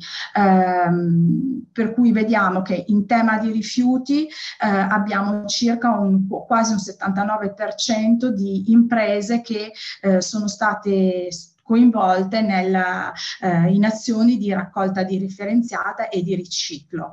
Um, un 46% eh, di, eh, gest ehm, di, gestione dei rifiuti perché, per contenere le sostanze inquinanti. Eh, per quanto riguarda poi il, ehm, il, il tema dell'acqua, dell'utilizzo dell'acqua, eh, un 44, un, quasi un 45% delle, de, delle imprese eh, dichiara di avere intrapreso azioni per ridurre il consumo dell'acqua e Uh, un 13% ha migliorato il trattamento delle acque di scarico e un 5% il, le ha riutilizzate e ha cercato il, di eh, intraprendere azioni per il riciclo. Eh, per quanto riguarda eh, i materiali, il 40% delle imprese ha cercato di eh, introdurre azioni volte a ehm, eh, risparmiare il, il, consumo di materiali, di, l'utilizzo di materiali nei processi produttivi oppure anche utilizzare nel 16% circa dei casi l'uso di materie prime eh, secondarie. Eh, per quanto riguarda infine poi eh, il tema del, dell'inquinamento in particolare eh, circa il 33% dichiara di essere stato coinvolto in azioni volte a contenere l'inquinamento acustico e eh, o luminoso e invece eh, un, circa un 25% le emissioni eh, nell'atmosfera, quindi eh, l'inquinamento dell'aria. Um, eh, eh, quindi eh, questo era un po' ehm, le, le, analisi che hanno, eh, diciamo, che abbiamo sfruttato ehm, de, delle informazioni fornite dal censimento eh, Istat eh, per eh, approfondire le riflessioni che stiamo facendo eh, su, sul, del, sulla nuova edizione del rapporto 2021 eh, che eh, non potrà che eh, affrontare anche il tema di come eh, la pandemia ha impattato sul percorso intrapreso dalla regione ehm, eh, che è un percorso a luci e ombre non, non, non in, in tu, rispetto a tutti i goal ha un posizionamento come quello che vi ho presentato per il Goal 12 e, eh, e alcune di queste, vi anticipo alcune eh, di quelle delle riflessioni che stiamo portando avanti per cercare appunto di ehm, verificare soprattutto se, come in prima battuta si è ipotizzato che la crisi economica conseguente alla pandemia ave, abbia avuto un sicuro eh, un effetto positivo, in realtà, come anche emerso da, da, da, dalle presentazioni che mi hanno preceduto, sicuramente la, la situazione è ben più complessa eh, e eh, sicuramente ehm, eh, dovremo, dovremo uh, approfondire maggiormente e in questo ci verranno sicuramente aiuto eh, eventuali eh, eh, dati che si renderanno disponibili su eh, analoghi a quelli ad esempio della, della, delle rilevazioni che ha condotto Istat eh, nel 2020.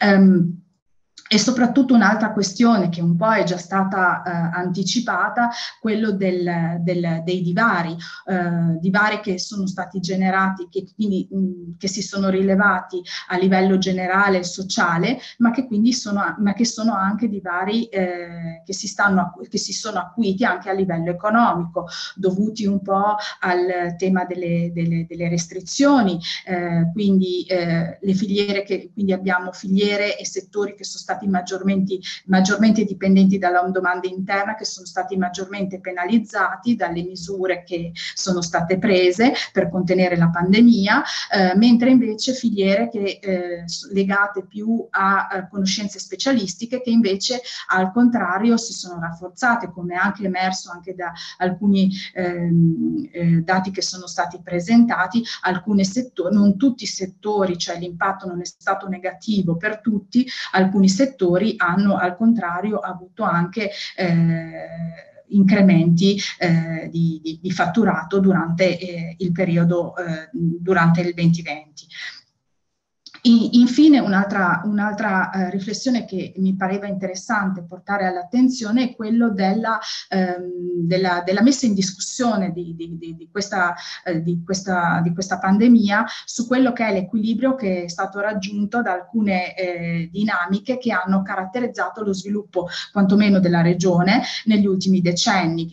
quindi ehm, la, la, l'equilibrio che si è instaurato tra produzione locale e produzione decentrata complicata e quindi da qui la, la necessità di ripensare come strategiche ca le catene di fornitura, il loro equilibrio e soprattutto le localizzazioni di alcuni settori produttivi, ad esempio l'alimentare, il farmaceutico, il biomedicali e, che, e anche conseguentemente alcune produzioni chiave eh, attraverso anche azioni di, eh, di reshoring che eh, possono anche essere supportate da eh, intervento pubblico.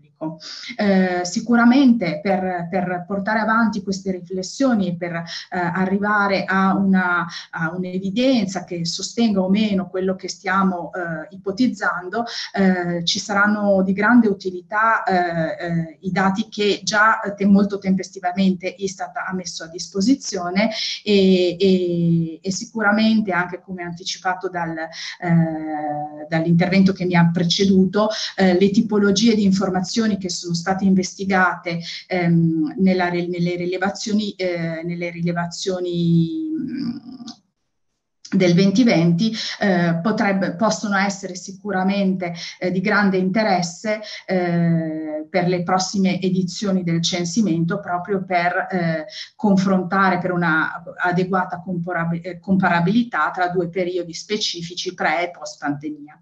Io con questo concludo e vi ringrazio. Grazie, grazie Federica. Allora, sono le 13.45. Mm, io avevo pensato di porre delle domande di carattere generale ai mm, tre relatori esterni, però è l'ora, eh, oppure facciamo veramente una, mm, un botte risposta, ecco, abbastanza, abbastanza sintetico, se, se siete d'accordo.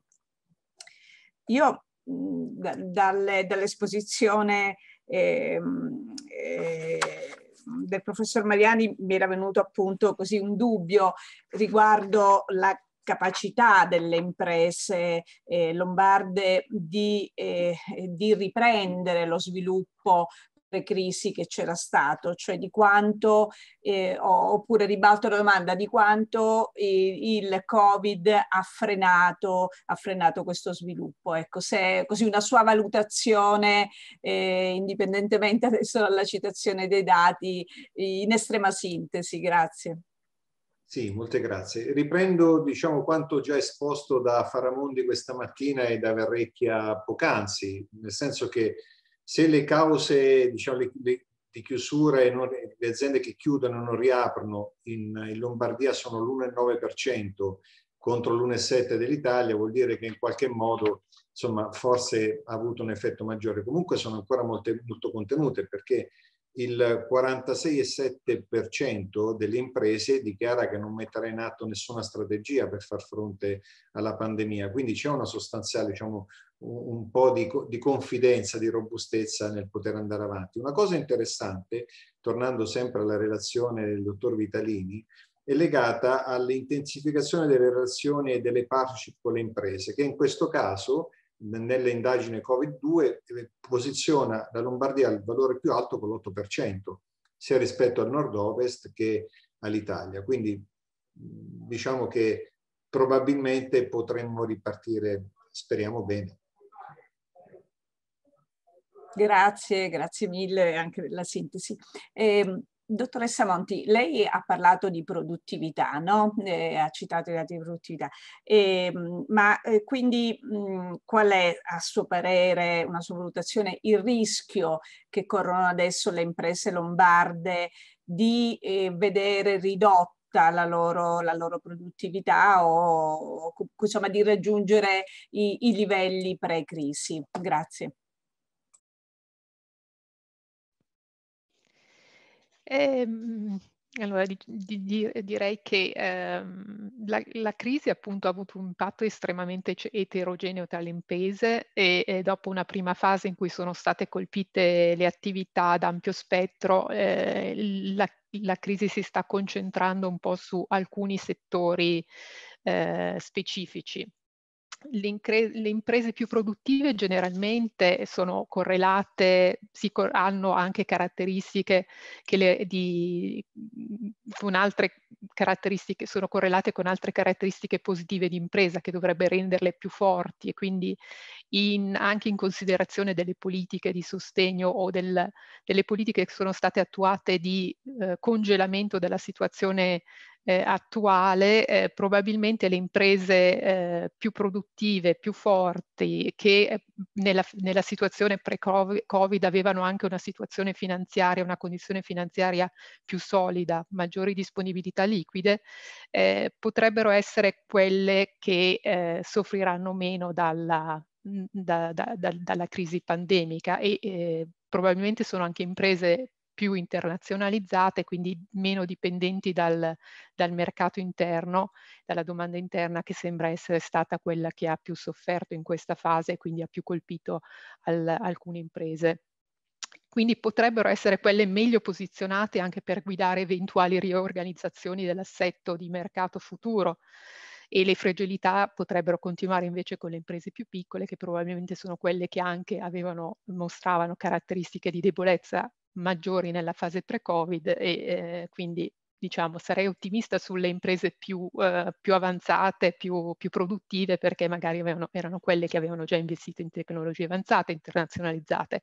Forse un rischio per le imprese più avanzate o internazionalizzate potrebbero essere una diversa velocità di uscita eh, dalla pandemia dai, nei, diversi, nei, diversi, paesi con, eh, e quindi potrebbe dipendere dal posizionamento nelle filiere internazionali di, eh, di produzione e vendita e quindi magari alcuni potrebbero avere alcuni competitor che essendo posizionati in paesi che escono prima dalla pandemia, potrebbero avvantaggiarsi ris ripresso, rispetto a alcune imprese italiane. Poi adesso si sta manifestando un po' un, po un problema dal lato delle materie prime, quindi insomma ci sono un po' di questi aspetti che potrebbero eh, rendere difficoltosa la situazione di alcune imprese nostre di, molto avanzate o produttive, ma probabilmente speriamo che eh, anche attraverso le, le, le, le, adeguate politiche di sostegno per riuscire ad uscire da questa fase pandemica eh, che si spera possa essere non di lunghissima durata, ovviamente dipenderà anche dal tempo con cui usciremo dalla, dalla crisi. Quindi forse spero di aver eh, sì. sufficientemente risposto, sì, sì, non, voler, non, voler, non, voglio utilizzare altro tempo esattamente. A disposizione. Eh, Federica, l'ultima, mm, eh, mm, attendiamo ovviamente con molto interesse quell'uscita appunto dei dati eh, mm, di cui tu hai dato insomma qualche anticipazione. Eh, la perplessità, come citava prima eh, la eh, dottoressa Monti, è sulle piccole imprese su vari aspetti, quindi immagino anche eh, sulla sostenibilità. tu hai qualche anticipazione, ci puoi dare già una tua valutazione su quelli che potrebbero essere i risultati risultati appunto poi del vostro, del vostro rapporto, delle vostre analisi condotte. Grazie.